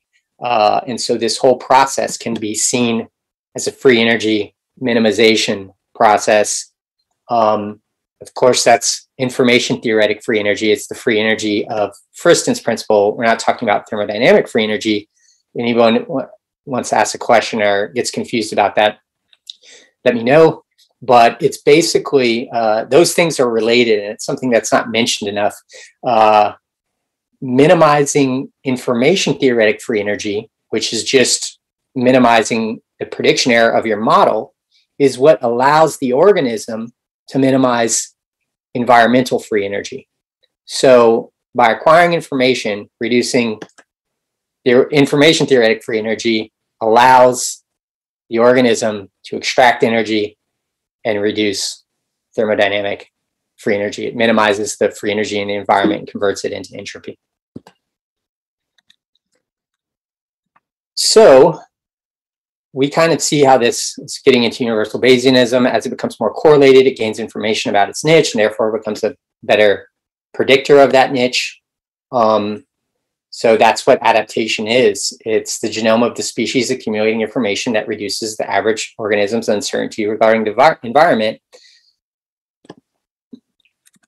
So um, the genome is a knowledge repository of solutions to environmental challenges that allows an organism with no brain and no mind to anticipate events in the environment. So, in this theory, as I mentioned before, consciousness comes later. It comes with self modeling capacity, and uh, a bacterium would be kind of a zombie agent. It would have agency and it would move with purpose, but that is not enough for mind, or at least mind in, in, defined as consciousness. Uh, if you want to say that mind is just information processing, then yes, there is mind in these systems, but that's very different than saying that the system has a subjective experience uh, a first person perspective. That will come in the next talk, but that uh, it's it's harder. um, so that information stored in memory is integrated into a statistical or predictive model that determines the causal control system's behavioral repertoire or the full range of behaviors an organism is capable of. And it is this mapping of sensory inputs to motor outputs that makes the organism move in ways that we normally associate with mind or consciousness. Um, Carl Friston, in a great Aeon article, says all biological processes can be construed as performing some form of inference. I think I already read that. Um, but the free energy principle, for those aren't familiar, um, we've already explained it, but the Bayesian brain hypothesis and the free energy principle are the same thing. Uh, the difference is that the free energy principle applies to all other adaptive systems, where the other one is just focusing on brains. But Friston realized that this, you know, is a is a model and a process that applies to any system that's trying to resist the tendency towards disorder. So any system to stay to continue persisting longer than we would expect uh, naturally, it must engage in Bayesian-like learning to deal with environmental uncertainty. How much time do I have left, roughly? Uh, still more than enough. Okay, keep going. Um, I'm definitely more than half through. I'd say I'm two thirds of the way through. So, uh, John Campbell has this great uh, paper called Universal Darwinism as a Process of Bayesian Inference that I kept coming across as I was trying to understand uh, non equilibrium thermodynamics and information theory. Um, yeah, I should say, actually, I should have gotten the books, uh, showed you each book, but um, there's a great book called The Origin and Nature of Life on Earth by uh, Santa Fe Institute's Eric Smith and Harold Morowitz. Uh, Morowitz was a professor of mine. Eric uh, is a friend that uh, we would have these foundations of the mind uh, guild. It was like a consciousness club that would meet at the Krasnow Institute, where I got my PhD. And um, so their book, The Origin of Life, on the origin of life, in chapter eight, actually gets into this information theory and uh, this this Bayesian inference and describes the origin of life and the evolution of life as uh, a process of Bayesian model selection. And so that was kind of what connected non-equilibrium statistical mechanics to these to this Bayesian brain hypothesis. And I realized that you know these theories were kind of converging on the same ideas. So John Campbell wrote this paper in 2016. He says Bayesian inference is an algorithm for the accumulation of evidence-based knowledge. This algorithm is now seen to operate over a wide range of evolutionary processes, including natural selection, the evolution of mental models, and cultural evolutionary processes notably including science itself. So uh, when we say that evolution is a process of Bayesian model selection, and the book I mentioned with Eric and Morowitz uh, actually characterized evolution as an inference engine. Uh, we're basically saying that when organisms that aren't fit get weeded out, uh, that's basically models that aren't predictive getting eliminated. So the organisms that persist are the models that were able to predict the environment best. So inference and prediction are kind of the same thing, uh, since the word inference is a little obscure, I guess. Um, so just to make this point a little more clear, um, since nature is complex and intrinsically unpredictable, uh, the model of an organism is at some point guaranteed to fail when reality surprises it with the unexpected. So, uh, and that's what the free, free energy principle is about. Minimizing surprise is the same thing as minimizing prediction error. So an organism gets eaten by a predator, a baby fails to reach his bottle, a scientific theory fails to explain new data. Um, basically, when any of these things happens, it means that the model used to predict reality is not completely accurate. It contains a certain amount of prediction error, and needs to be corrected. So what's the solution? Try something new. The old model worked well enough up to that point, so don't ditch it. Just vary it a bit and see if it performs better. If it does not reduce surprise, eliminate that variant and try again. If prediction error is reduced, replace the old model with the new one so that it becomes the reigning theory and the design template for new variants to be based upon. When a model has been updated in this way due to natural selection, adaptive learning, or experimental testing, we can say that knowledge has been acquired and environmental uncertainty reduced. So here we have an image. Um, I should say that uh, Infinity Maps, uh, German software mapping company, uh, helped me create these images.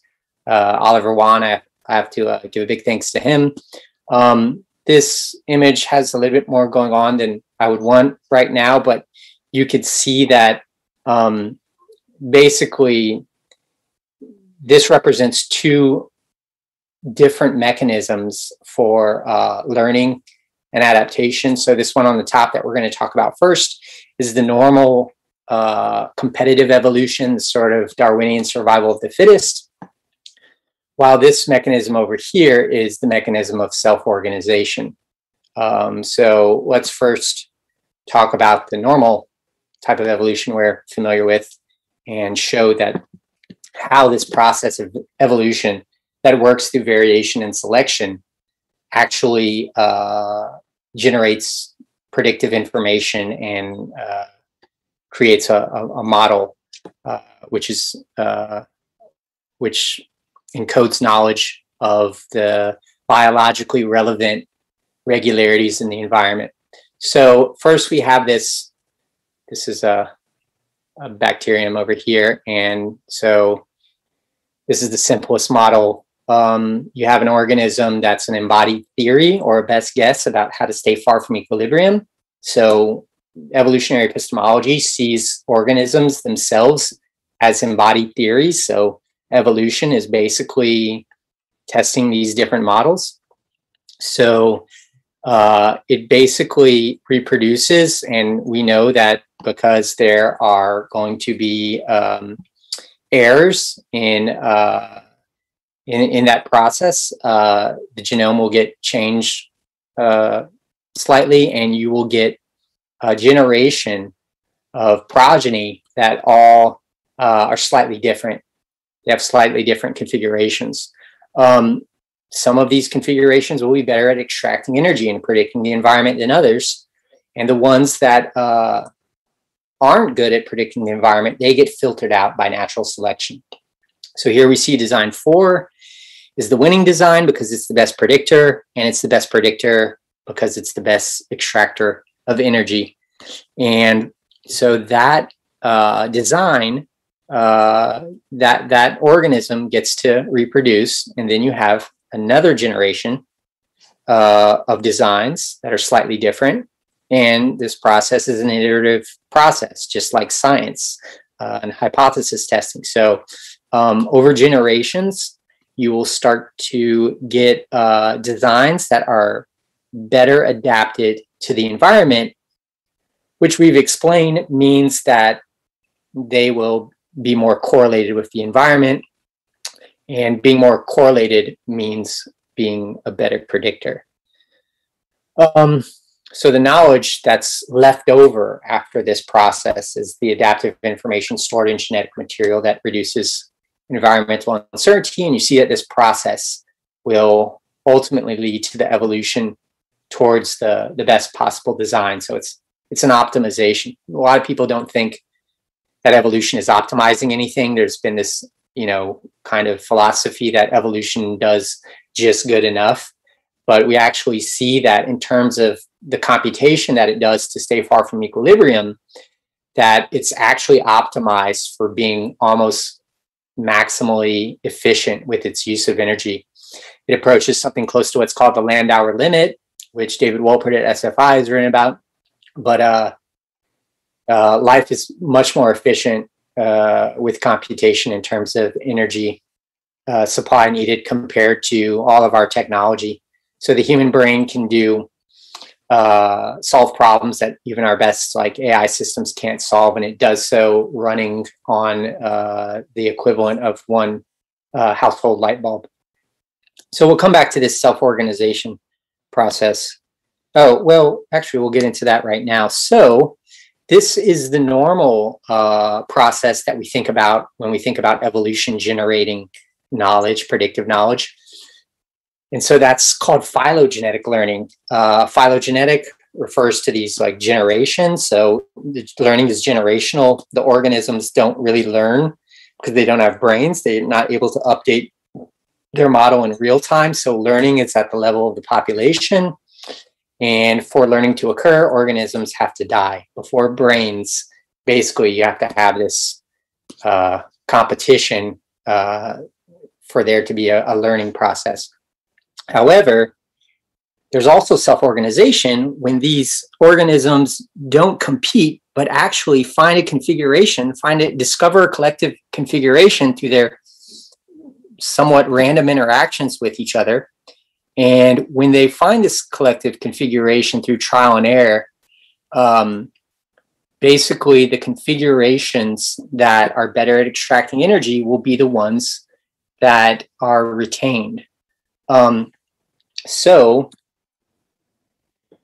Donald Campbell, father of evolutionary epistemology, uh, explained this process, this evolutionary process by which self organization works, as blind variation and selective retention, or we can think of it as selection for persistence or stability. So, fitness kind of there's a Dawkins quote I think I come out where Richard Dawkins said Darwin's uh, survival of the fittest is really um, just a more specific instance of a more general law of survival of the stable. So when we think about being fit, at the beginning we're talking about just being uh, stable, being able to find energy. If you can't do that, it doesn't matter whether you have agents that you're competing with or not, because if you can't get energy, it doesn't matter if there are other people competing for it, that you won't survive. So you don't need replication with variation to evolve. That's what this is. This model is saying. Um, and Stuart Kauffman from the Santa Fe Institute has been talking about the importance of this marriage between Darwinian evolution and self-organization. But basically, uh, because there's not this replication process, um, this is how evolution occurs. So you have uh, a system that's a collection of components, parts. These parts can be molecules or they could be uh, agents. And when these molecules are pushed far from equilibrium by a flow of energy, of course, humans are eating food and metabolizing energy, so they're being powered by energy flows as well. The system blindly explores various configurations in the space of possible designs via trial and error.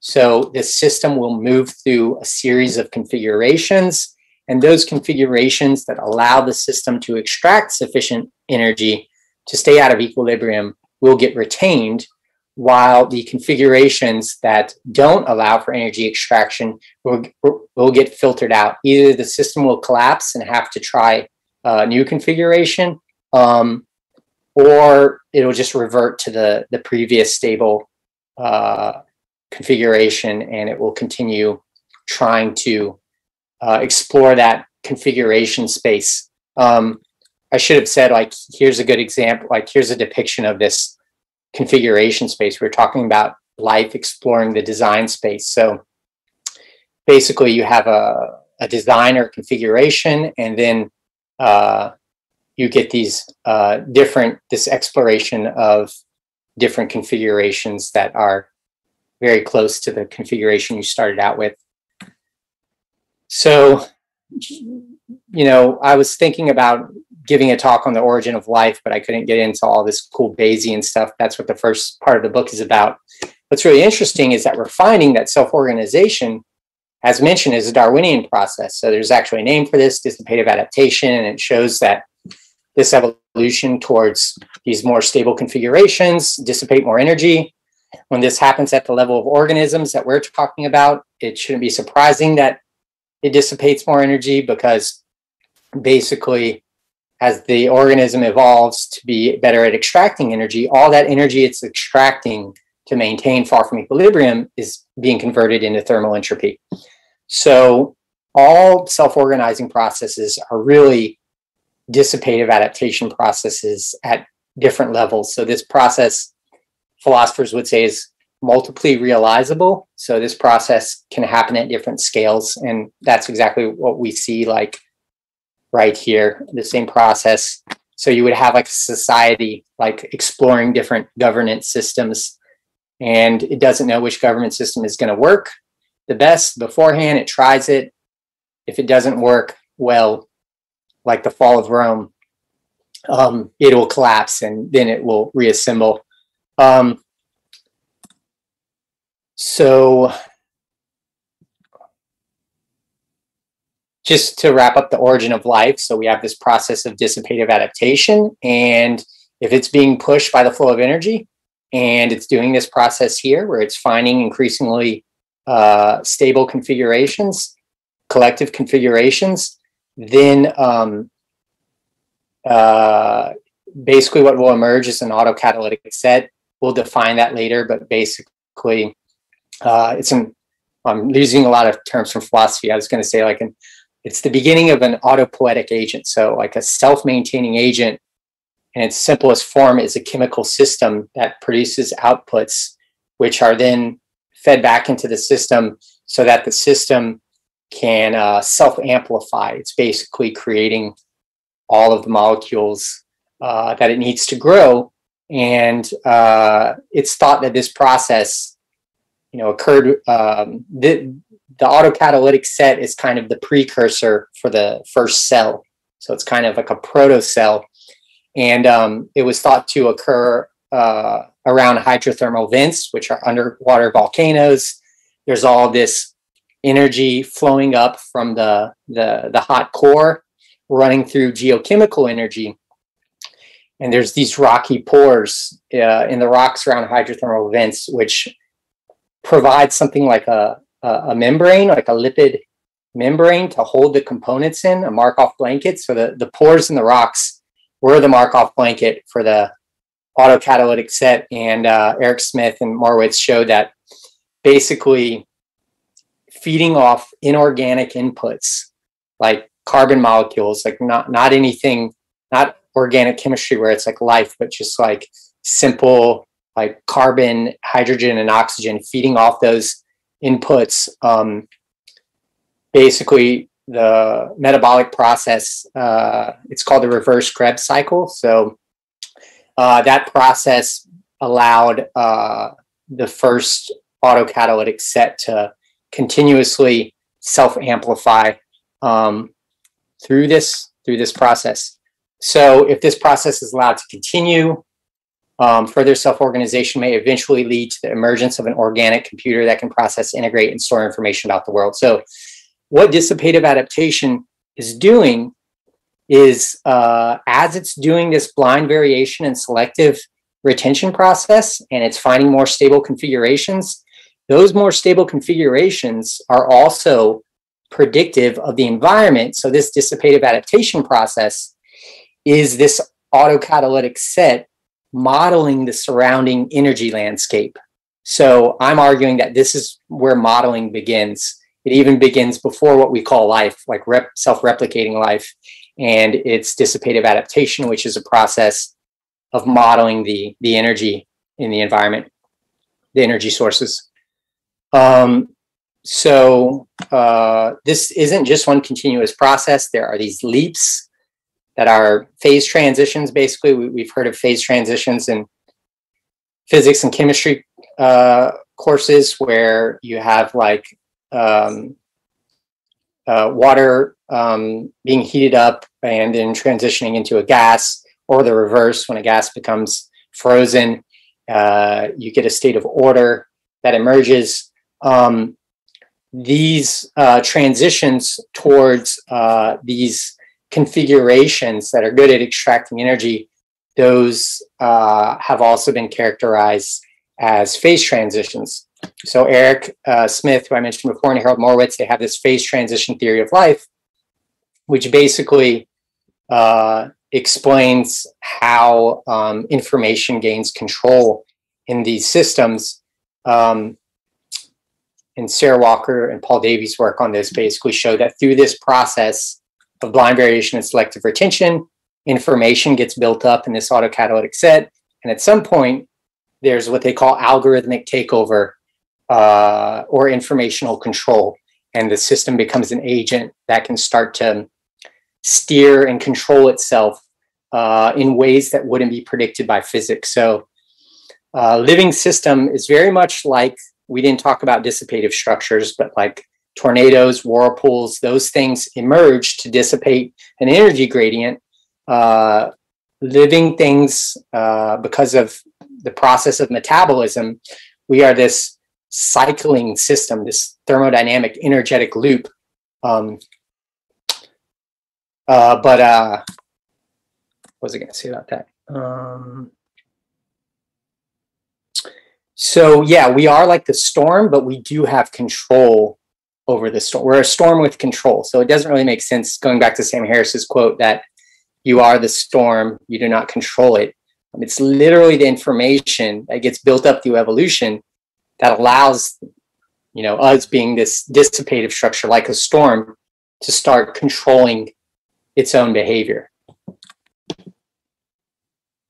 Um, so the last part is just an argument for that second question why should complexity increase? Um, we know that this evolutionary process where you build up this model, uh, so we would think that this, after these generations of evolution, this organism is going to be well adapted to its environment. But we know that adaptation doesn't mean becoming more complex always. So sharks and crocodiles are cited as species that haven't evolved much at all in many millions of years. Um, cave fish actually evolved to become more simple. So basically, fish with eyes got isolated in like an underground environment where there was no uh, need for sunlight. And uh, so basically, um, fish like processing light like eyes didn't have any survival advantage. So um, basically fish lost their eyes uh, over many generations of evolution becoming simpler. So if that's true why should evolution increase complexity? Um, the answer to that it comes from this understanding that evolutionary epistemology says that a species adapting to a niche is like a scientific theory being tested for viability. Species will evolve not to become increasingly complex, but to match the complexity of the environment, a sort of simplest solution to the thermodynamic problem of staying far from equilibrium. So Einstein famously said a theory should be as simple as possible, but no simpler. The same could be said about an organism. You want it to be as simple as possible while it accomplishes its task of extracting energy. It has to be complex enough to be able to extract energy in a competitive environment. But a bacterium doesn't have to do, it doesn't need intelligence. Any extra information processing, higher level cognition would be energy wasted um, that could be energy that allows it to stay far from equilibrium for longer and replicate more. So um, it's not the case that everything will evolve towards higher complexity. Uh, but the reason that we do get increasingly complex species over evolutionary time in a way that I'm saying is inevitable. Uh, so there is a progressive evolutionary process that leads to higher forms. It has to do with uh, niche emergence. So, so basically, a species will evolve to become as complex as its niche, as its environmental niche, but there will be increasingly complex niches that emerge uh, for reasons that will be explained. Um, but I will pause there uh, before I get to that, which will be what we end on. There are no other questions right now. So if anyone does have questions, how about they can feel free to ask it during this last section? Give you a second to catch your breath. And I know it's been a ton of information. Like my goal is that you know since this is being recorded it'll be something that's up um, hopefully i've cited enough literature that people can explore this stuff themselves and see that like okay it's not this guy that's like uh, kook claiming to have like a theory of everything this isn't my theory it's a synthesis that's emerging and um, uh, really the story has been there for quite some time and the cybernetics pioneers actually a lot of them were you could call them like cosmic teleologists. A lot of them did see this continual increase in complexity. Of course there's nothing mystical about it or supernatural about it. Um, it's a mechanistic process. That doesn't change the fact that nature seems to have these built-in goals that emerge from the fundamental laws and constants the parameters the, the fine-tuning um, but it's a completely natural, progressive, teleological evolutionary process. And so I'll just end, you know, this is just finishing up. It's along the same line, so that's good. The questions can come after this. I, I know it's been quite a lot, so I will just try to sum this up simply. Um, so, uh, two important principles from cybernetics. These came from Ross Ashby, who also created the principle of self-organization, which was really the first time people took self-organization seriously. So we think of complexity science as being the science of self-organization, but it really goes back to cybernetics. Um, I think the term, I think Kant might have talked about it, but it was Ross Ashby who tried to, you know, give it a, make it a, a principle and a formalized concept. So there are these two concepts that really, I think, anybody interested in like Carl Friston's Bayesian brain hypothesis free energy principle should be aware of because all of the way he talks about like evolution comes from this Ashby's work. Um, the good regulator theorem it was also updated. There, there was the internal model principle, which came like a decade later. Good regulator theorem came. These both these laws, I, I think, came in the 50s, in the 40s or 50s, and then I think in the 70s, the internal model principle was created, but it basically says that any system that regulates or controls another system must have a model of that system. Otherwise, it can't regulate it. So it seems pretty obvious, but this talk of models kind of starts here that that is very familiar to like anyone interested in like the free energy principle.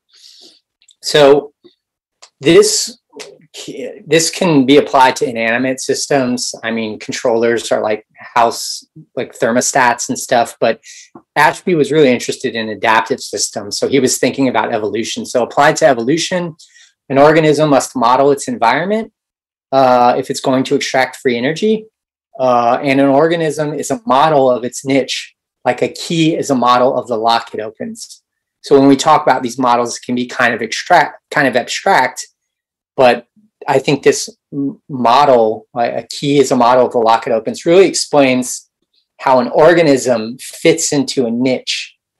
Uh, you could also say like a hand fits into a glove, but it really, uh, the organism is a model of its environment. So natural selection is essentially an information channel that through evolution is pumping in information from the external world, from the environment into the organism, such that the organism is encoding the structure of reality, encoding the structure of the world, and its design uh, include uh, uh, encodes information about the outside world.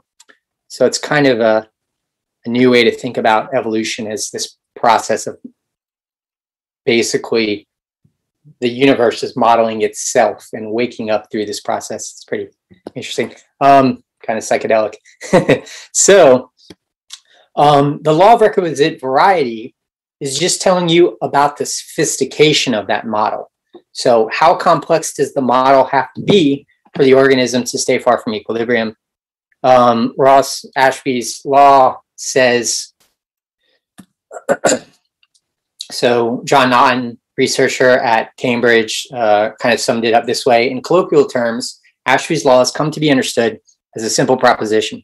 If a system is to be able to deal successfully with the diversity of challenges that its environment produces, then it needs to have a repertoire of responses, which is at least as nuanced as the problems thrown up by the environment. So a viable system is one that can handle the variability of its environment, or as Ashby put it, only variety can absorb variety. So it's what we said before with evolutionary epistemology. An organism evolves to become as complex as its environmental niche requires. It has to specifically have enough behavioral responses which map onto internal states. So it has to have enough cognitive states to uh, respond to the number of challenges that the environment presents, challenges um, uh, in its ability to extract energy.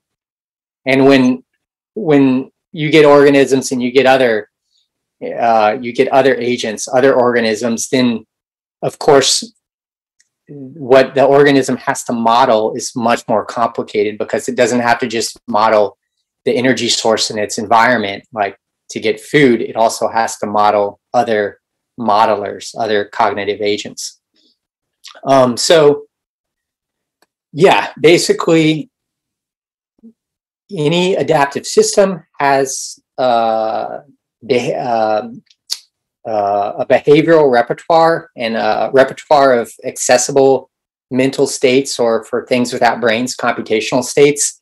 And the number of states that the organism can access uh, should match the number of challenges, the number of states that could surprise the organism by the environment. Um, so a cat must have at least as many states as the ways the mouse can evade it, and the mouse has to have enough behavioral states to get away. So they model each other. A swordsman, like a fencer, must have many blocks as his opponent has attacks. And as we said, because behavioral responses map onto unique internal states, the loss as an organism must have as many accessible states as required by the complexity of the niche. So we already said this. Uh, organism is some simplest solution to the thermodynamic problem of staying far from equilibrium. So a well-adapted species represents a biological solution to an existential thermodynamic dilemma. It's a, sort of living, evolving scientific theory about how to most efficiently extract the free energy, the lifeblood of existence out of a particular niche. Some niches present a changing variety of challenges that must be adapted to, while others present hardly any at all. So almost done here. I know it's a lot. Um, hopefully this can kind of wrap up the ideas and kind of show how they're all connected. Um, but this is still on this question of how complex is the universe? Uh, how complex can it get? So uh, Olivia, Jud- Olivia Judson wrote this, uh, uh, published this paper called The Energy Expansions of Evolution. It's really nice. People should check it out. Uh, so she says, the history of the Earth, life Earth system can be divided into five energetic epochs, each featuring the evolution of life forms that can exploit a new source of energy. These sources are geochemical energy, sunlight, oxygen, flesh, and fire. The first two are present at the start, but oxygen, flesh, and fire are all consequences of evolutionary events. And then she makes this statement. By the way, red is quotes if people haven't uh, figured that out. So these are her words. I forgot to put quote marks. Um, so no category of energy source has disappeared. This has over time resulted in an expanding realm of the sources of energy available to living organisms and a concomitant uh, increase in the diversity and complexity of ecosystems. So here's the way to think about it. Um, so taking the thermodynamic perspective and looking at organisms as energy flow channels, uh, we can think of each niche on Earth as a sort of energy slot for a given species. And an evolving population of organisms efficiently searching the solution space will eventually, just by chance, discover a solution to a thermodynamic problem that it didn't know existed. The discovery of a novel energy source or energy extraction technique is both how a new niche and a new species come into existence. So phylogenetic learning, which we saw in that chart, will naturally lead to speciation because organisms will stumble upon new ways to exploit thermodynamic niches that were previously inaccessible to life purely for design reasons. We're going to give examples on the next slide. Um, so as the biosphere accumulates knowledge through phylogenetic learning, not only is the solution space corresponding to one kind of thermodynamic problem being explored, there's a growing problem space, each with its own unique solution space. Um, so in an evolution, so there's an evolutionary trajectory that's not determined in the strict sense uh, envisioned by Laplace, where like there's no freedom and the future is like set in stone, but there is a sort of uh, statistical determinism, what I've been calling a non-equilibrium statistical determinism, that guarantees that basically the inevitability of this emergence of a distribution of far from equilibrium attractors of varying varying degrees of complexity. So each species can be seen as a an attractor that's exploiting this niche, and you get this uh, basically this diversity where you have uh, organisms uh, exploiting like the the energy niches that were kind of the easy ones to exploit on Earth, like the geochemical free energy we mentioned with the origin of life, and then sunlight was a little bit of a more difficult challenge to uh, extract sunlight. It took some time for evolution to be able to do that. Um, so uh, extracting energy from the hydrothermal vents uh, source of energy is really simple because the energy is already like flowing through the system. It doesn't have to do much work. To extract sunlight, you have you know a moving sun. Uh, it's a little bit more complicated, but not nearly as complicated as organisms that eat other organisms, so heterotrophic organisms, um, because they will have to model not just like a sun moving predictably through the air, but have to model all these other agents, many of which are trying to eat them to kill you. Um, so basically, so answering this question, why increasingly intelligent species emerge? We started off with reductive autotrophs, those organisms around hydrothermal vents. They were a solution to the problem of how to extract free energy from geochemical gradients. Um, photosynthetic bacteria, the ancestors of plants, were the solution to extract of how to extract all the solar energy that was flowing through the planetary system. So that was a big discovery made by life, is that you, know, you can get energy directly from sunlight heterotrophic organisms, organisms that eat other organisms, were the solution to the problem of how to extract energy from life itself. Once life starts having to model life, other agents with causal power and adaptive behavior, the computational task of extracting free energy gets increasingly difficult as increasingly complex species arise. So, by virtue of having to model each other, the complexity of some species gets ratcheted up by what's known as an evolutionary arms race. So, the lion is evolving. You know, lions are producing offspring. Some of those lions will be better at predicting the gazelle's movements. The gazelle will also be creating offspring, and some of those will be better at predicting the lion's attack. The ones that are better at predicting are the ones that get to uh, stick around. So you see how you have this ratcheting mechanism that ratchets up, ratchets up complexity. Um, there's actually a principle called um, the Red Queen principle uh, that says that for uh, an organism to simply stay in the game of existence, certain organisms, a certain species, they will have to become increasingly complex. And that comes from uh, Alice in Wonderland. Basically, uh, there's a scene with the Red Queen and Alice is they're they're all running as fast as they can, and Alice is like, you know, I'm running fast as I I'm I keep running, but I'm I'm going nowhere. Like so they're they're all running, but they're they're not making any distance, they're staying in place. And the Queen says something like, Oh, you see here for that, uh, to go somewhere, you'll have to run much faster than that. Um, so the idea is that for a species that has to deal with this complex environment just to stay where it is, just to stay in the game of existence, it has to become increasingly complex. It has to keep adapting. So, one thing that I wanted to get into more, but I'm not going to, is this idea of empowerment. It comes from the computational neuroscience literature. it's similar. It comes from Daniel Polani, but it's very similar to Harvard's uh, Alex Wissner Visner Gross. He has an idea called causal entropic forcing, but basically these people are arguing that, um, well, Visner Gross is arguing that a causal entropic force uh, means that like basically with like evolution you'll get a system systems that uh, are trying to maximize the number of states they can respond to. So the maximize and the number of states they can respond to is mirrored by their internal diversity. So systems naturally try to increase the number of states. And it's this ability that allows for intelligence because if you have more states, going back to this law of requisite variety, you can respond to more challenges. So, not every species is increasing empowerment, but you will get the emergence of increasing, uh, increasingly complex uh, species because uh, each species uh, serves as food for a potential new species.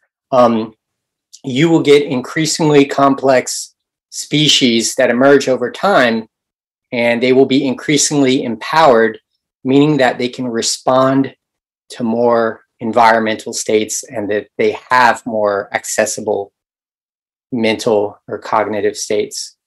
Um, I explained some of this in the last slide, but I'll just explain a little more. So, open-ended niche emergence, why has the evolutionary record shown a trend of the emergence of increasingly complex forms?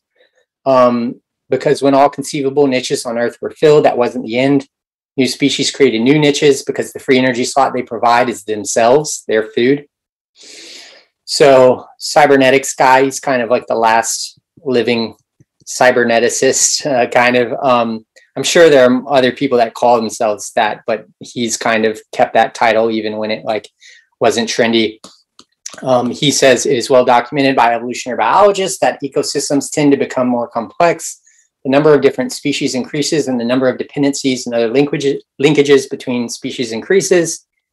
He cites E.O. Wilson, who recently passed away, um, who did a lot of work that that kind of inspired a lot of the concepts in the book, um, not just this niche emergence, but also talking about superorganisms, so collectives like ant colonies, self-organizing systems at all scales.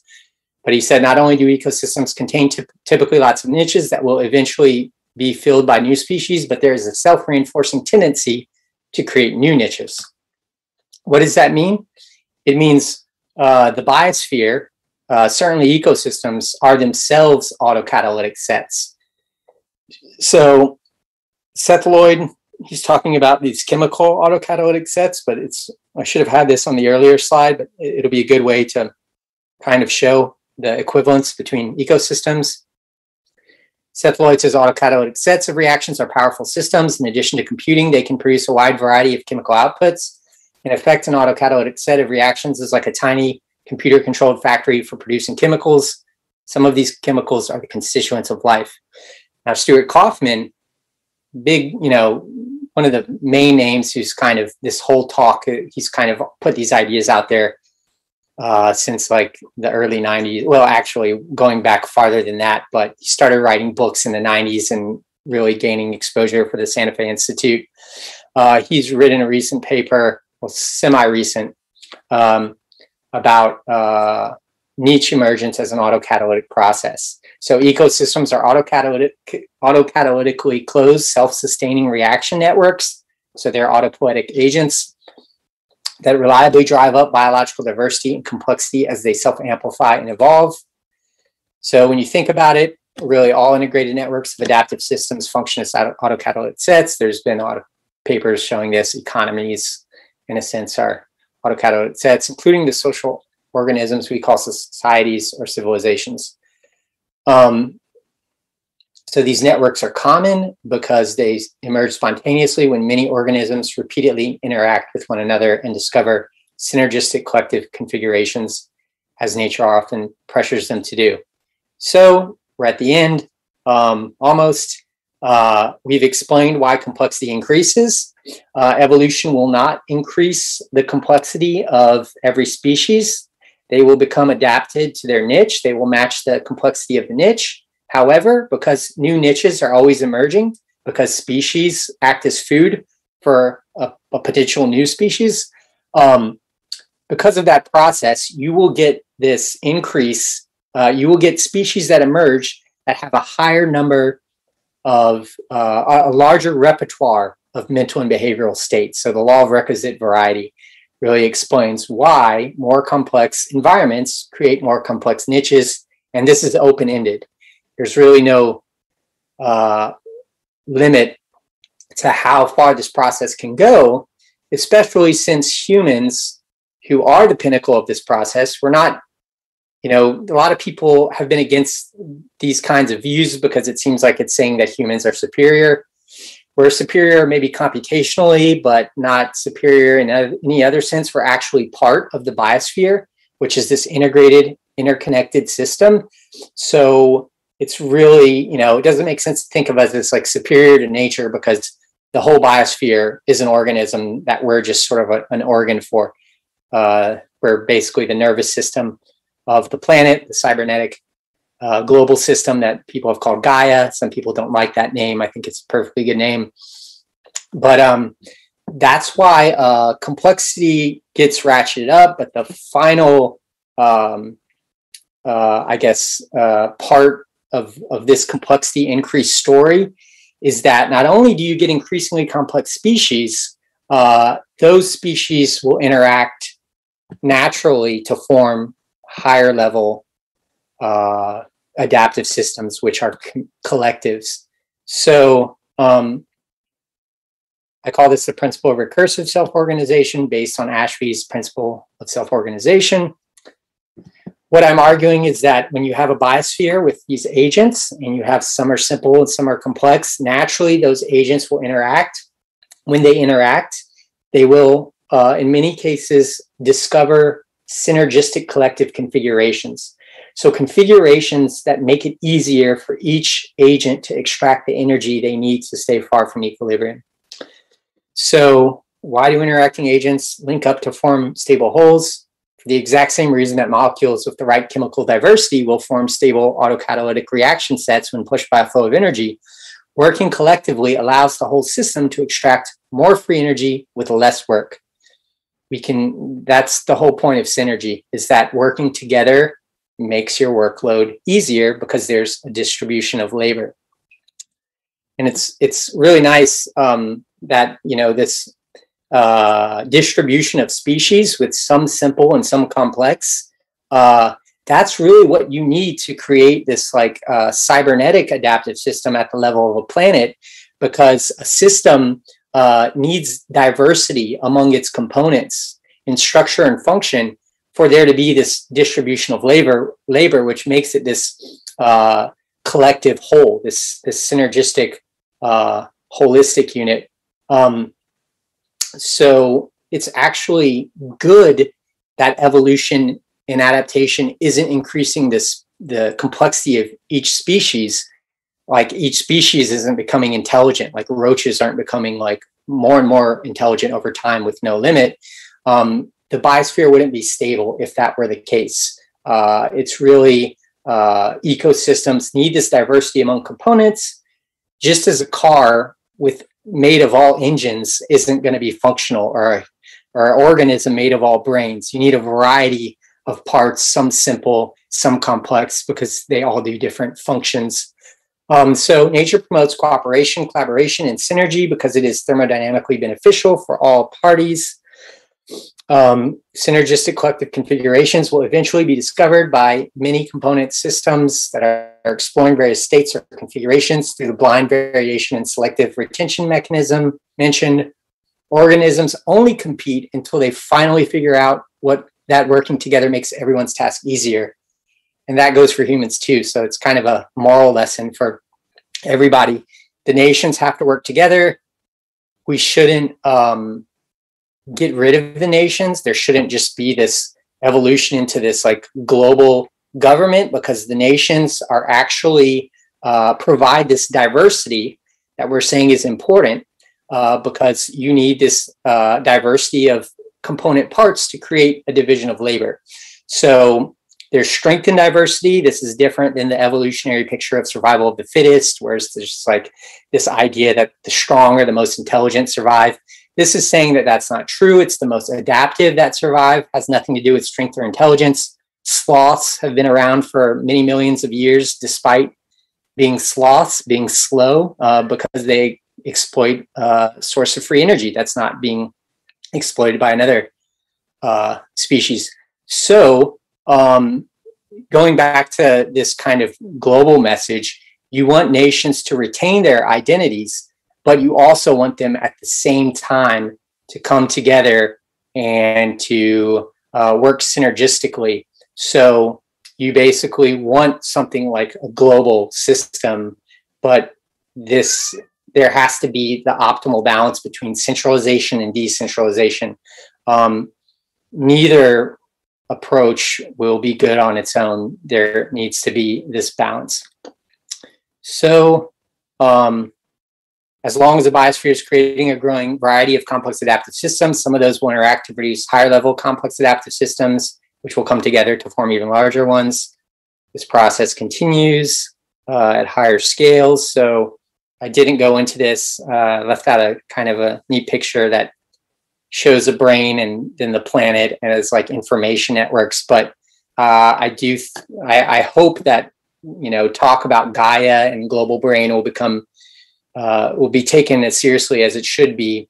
Uh, they really only weren't taken seriously because there were mystical notions associated with this word Gaia, which wasn't even James uh, Lovelock's uh, fault. He act the name Gaia came from his neighbor, who is actually the author of Lord of the Flies, William Golding. So blame him for the for the flowery metaphor with Gaia. Um, but yeah, the, the the biosphere is a cybernetic organism, and we are forming something like the global brain, and a self-replicating biosphere uh, is essentially the next step. And when we are trying to terraform planets like Mars, that can be seen as the biosphere replicating. Uh, for humans to, at this point in our stage of development, we would have to kind of convert Mars to like a, something like a biosphere to have like oxygen. And so you can see how it's replication with variation. You get the same sort of thing, but because it's a different planet, there's going to be uh, variation. It's not going to be exactly the same, but that's how the evolutionary process continues. I should have showed this earlier. This is just showing how like eukaryotic single-celled organisms like amoebas will come together to form communities like a slime mold. Uh, these uh, multicellular organisms come together to form colonies. You see this ant colony. Ants actually really do form a superorganism. You can see here, they actually build a bridge out of their bodies so that some ants can like climb across that bridge. So it really makes sense to call it a superorganism or uh, at least like a, a super adaptive system or like a meta meta system um, because without it we can't make sense of this collective behavior that's functional um, of course human civilization we again see this hierarchy now it makes more sense uh, we see that these evolutionary transitions oh yeah these are called evolutionary transitions sometimes I use the name metasystem transition because um, if we were talking about the brain, I would also talk about like uh, the emergence of a prefrontal cortex, which is like a high level controller. Um, that's also like a metasystem transition. So metasystem transitions are a little extend this where it's not talking necessarily about evolutionary transitions, but these other transitions where systems start to model themselves. Um, so here we see uh, how evolution has created these different memory uh, systems, these knowledge repositories. So it's that process of recursive self-organization that creates new memory systems. When you get go from single cell life to multicellular life to life with brains, uh, it's uh, these are in, uh, revolutions in information storage machinery. So you can see how the information in the biosphere gets accumulated through an evolutionary process. Um, these are the final points. Yeah, so knowledge is power. It's not just a hollow buzz phrase of the digital age. It's true in the most fundamental way. Uncertainty reducing information is life's first and last weapon in ongoing war with disorder. Without knowledge, life cannot exist for more than a moment, much less colonize the galaxy and beyond. This suggests that setting out on the path toward cosmic superiority is not a choice that intelligent agents like Homo sapiens make upon careful reflection, nor is it just some quirky ambition we stumbled onto by chance.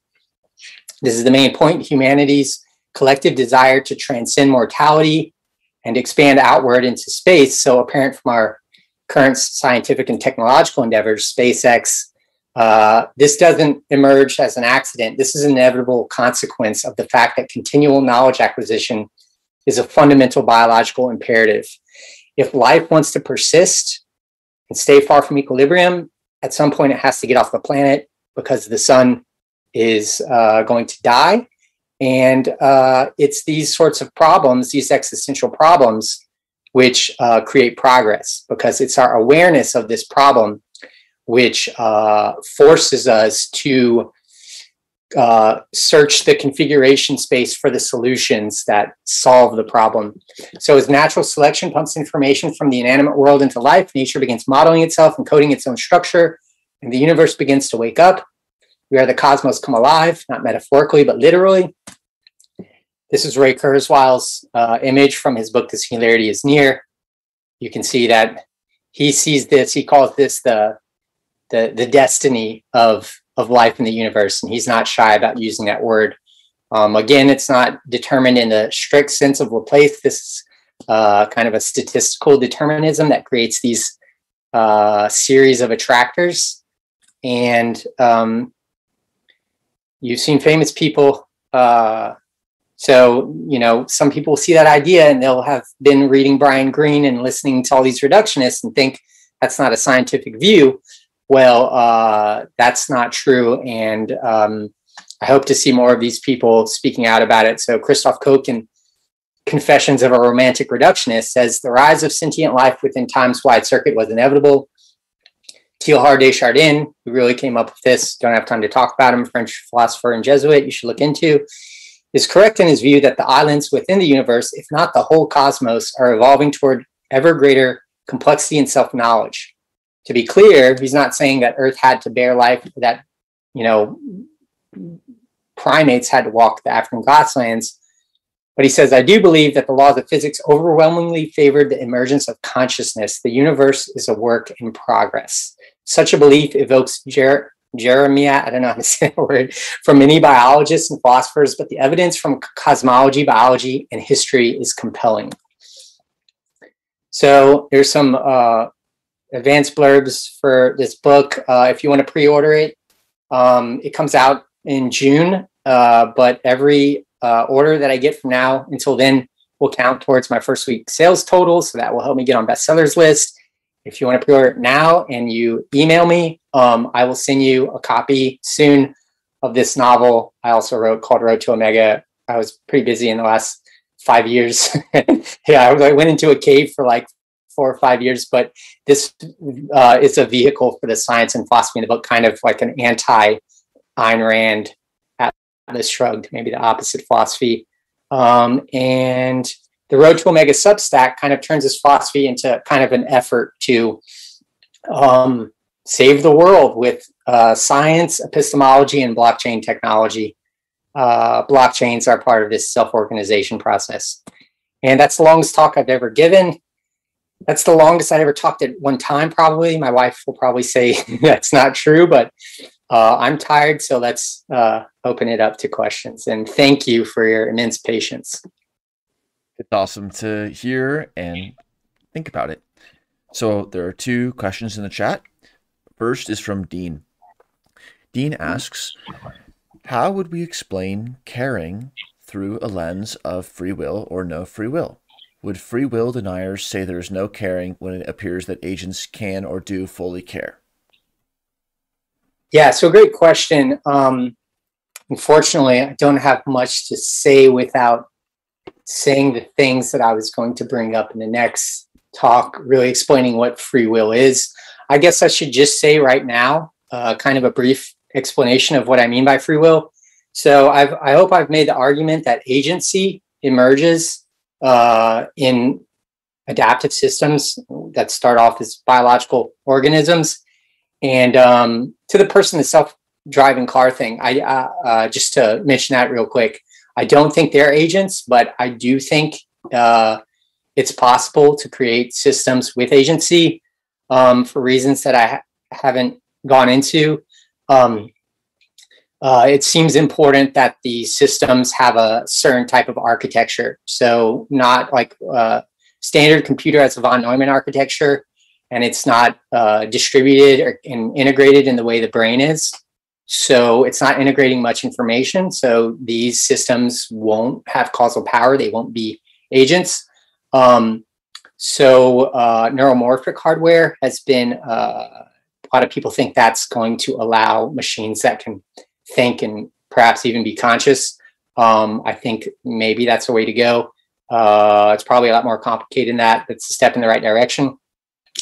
So agency is real. It's uh, due to information gaining causal power in a system and starts uh, it starts steering the system. So you'll see like a bacterium performing chemotaxis, but does it make sense to say that the bacterium has free will when it's going this way and that just because it's not predictable in the way an inanimate system is?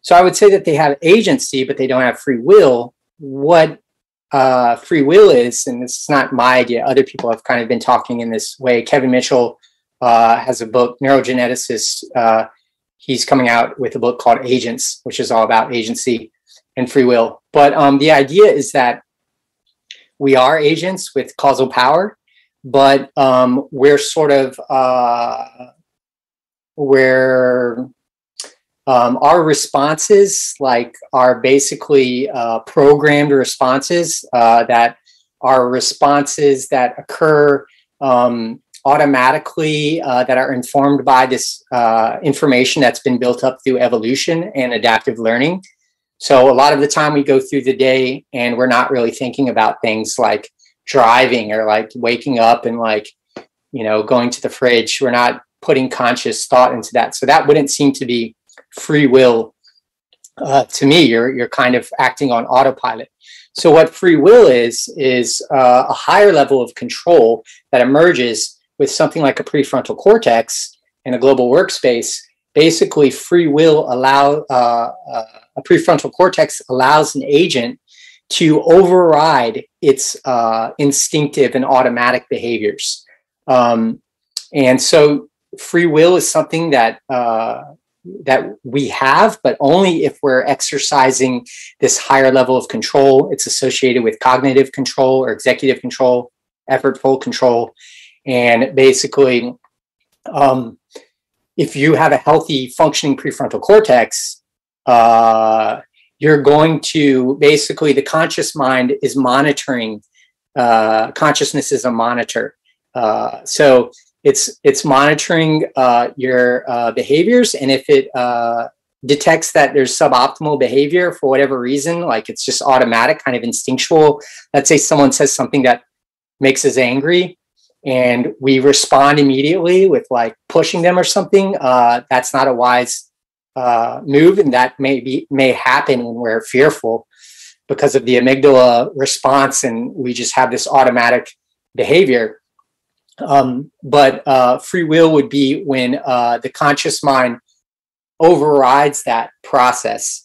And uh, Libet, actually, the free will studies that everybody cites as saying that we don't have free will he actually never said that. He said free will is in this veto power. Like maybe some of our voluntary movements occur without conscious thought, but it's our ability to override those movements uh, that is the source of free will. But there was more problems with that. Actually, um, the studies have Koch did a study showing that uh, basically um,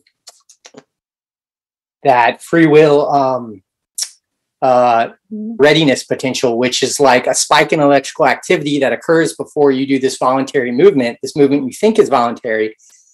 And everyone thought that this meant that you're not really making a conscious decision, that you could see this spike in brain activity earlier than the person thought they made the voluntary voluntary decision.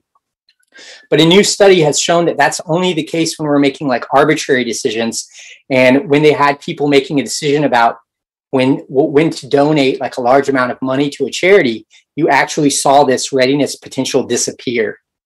And so it seems like deliberate thinking, which is still this like prefrontal cortex, and there's this distinction between access, access consciousness and phenomenal consciousness that I didn't go into that I would in the next talk that Adam Safron and integrated world modeling theory really gets at. But the idea is that the prefrontal cortex does allow us to override automatic behaviors. And that is a sort of freedom that we have, and we also lose it. Uh, in cases of schizophrenia, you see impaired uh, prefrontal cortex activity. In drug addicts, you see impaired activity. Um, in drug, drug addicts, you see uh, they do repetitive behavior, even when they know that it's uh, not beneficial to them, they will still engage in that. So they're kind of stuck in this loop or this unhealthy attractor. Um, with schizophrenia, there's patients that uh, report being pushed around by forces that are beyond their control. Uh, I think that's because when the prefrontal cortex is uh, basically deactivated, um, people lose this sense, this ability to override their automatic behaviors and I think that's what those people are experiencing this sort of loss of this higher level agency that we've called free will. Um, another interesting, just a final interesting thing to mention about that is uh, Cotard's syndrome, Cotard's delusion is this delusion where, where people think they're dead. They think they're um, like ghosts or just not alive. It's really weird. A lot of people die from starvation because they think they don't have to eat because they think they're already dead um, you actually see from neuroimaging studies, they've showed uh, like impaired activity in the prefrontal cortex. So maybe these people who think they're dead have lost this high level agency and, and they feel like they're ghosts or something. Um, as far as caring, uh, so um, caring is a part of like emerged through evolution because you do have this benefit to cooperating with each other this self-organization process that we talked about that happens naturally because basically you find that when you work together you minimize conflict and um, uh, align it you align interest and so caring altruism empathy all of those things are as natural uh, and as darwinian as anything else but you have to add on to evolutionary theory all of this stuff about self-organization and cooperative evolution. Um, as far as he said, he said something about why people uh, who uh, don't believe in free will. I, f- I forget the exact point about the caring. What was that? Um, when when it appears that agents can or do fully care. But sorry, what was the what was the first part of it? Um, how would you explain caring through a lens of free will or no free will? Would free will deniers say there is no caring when it appears that agents can or do fully care? Yeah, no, it's it it it flies in the face of like uh, our our everyday experience. So like, yeah, um, I the the the amount of contradictions and like logic that doesn't make sense when you go down that path of there being no free will or agency. Um, you just you just get into absurd territory. It's I think when we look back, it's going to look quaint that for so long that we thought that everything was determined in this strict sense.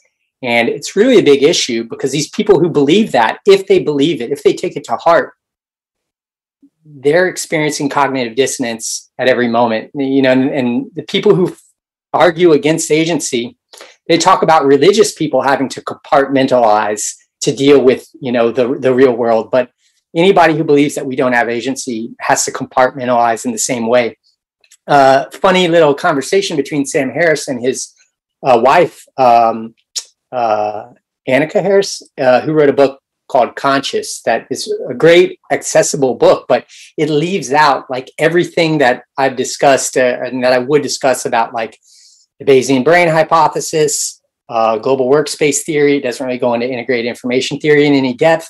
So, like all of the things that they're missing that do explain a lot of this stuff uh, can be found in like modern neuroscience. So we are making a lot of progress towards you know understanding the hard problem of consciousness, so subjective experience, but also like free will and agency. But it's funny because they're having this conversation in the podcast and they're discussing whether since a belief in no free will, as mentioned, that New York Times article, I think 2011, showed that they have less moral behavior and it can, you know, cause depression. They're discussing whether they should tell their daughter about free will or not, that, that she doesn't have any free will. The discussion is like, should we tell our daughter that she doesn't have free will? But the actual discussion uh, implies that they believe that they have some choice whether to tell her or not. They're having a discussion about whether they should do this or not. So there's a contradiction in their conversation that contradicts what they believe. What's interesting is that if they do tell her that she has no free will and she believes it, she's actually going to have negative mental effects. Like it will, har- you know, be harmful. Um, assuming that she really believes it. I don't know if it has that in in everyone, but you do see studies that show that. Um, so if we do have free will, it's a very bad thing to be telling people.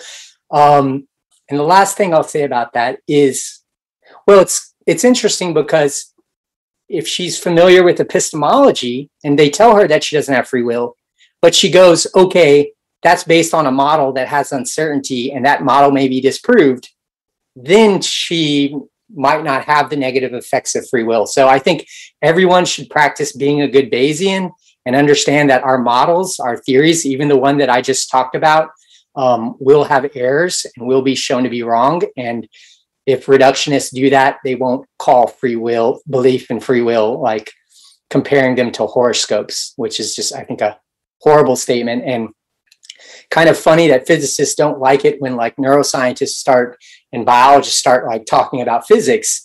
It's kind of strange that physicists are are so sure that we don't have free will when they're not familiar at all with the neuroscience behind agency and free will. So would you like me to just read a comment in the chat? Otherwise i think we can kind of come to a close. Um, if there's anything yeah i can do one more question yeah well uh, marco and Dave and others, thanks a lot for the great comments and commentary in the chat. I hope that Bobby, I hope you check the um, live chat replay. Um, and uh, Sean O'Connor wrote, Thanks for the good and informative talk. Dr. Azarian mentioned the idea of evolutionary arms race. I was hoping to recommend that he consider, if he hasn't, how an intra specific evolutionary arms race may relate.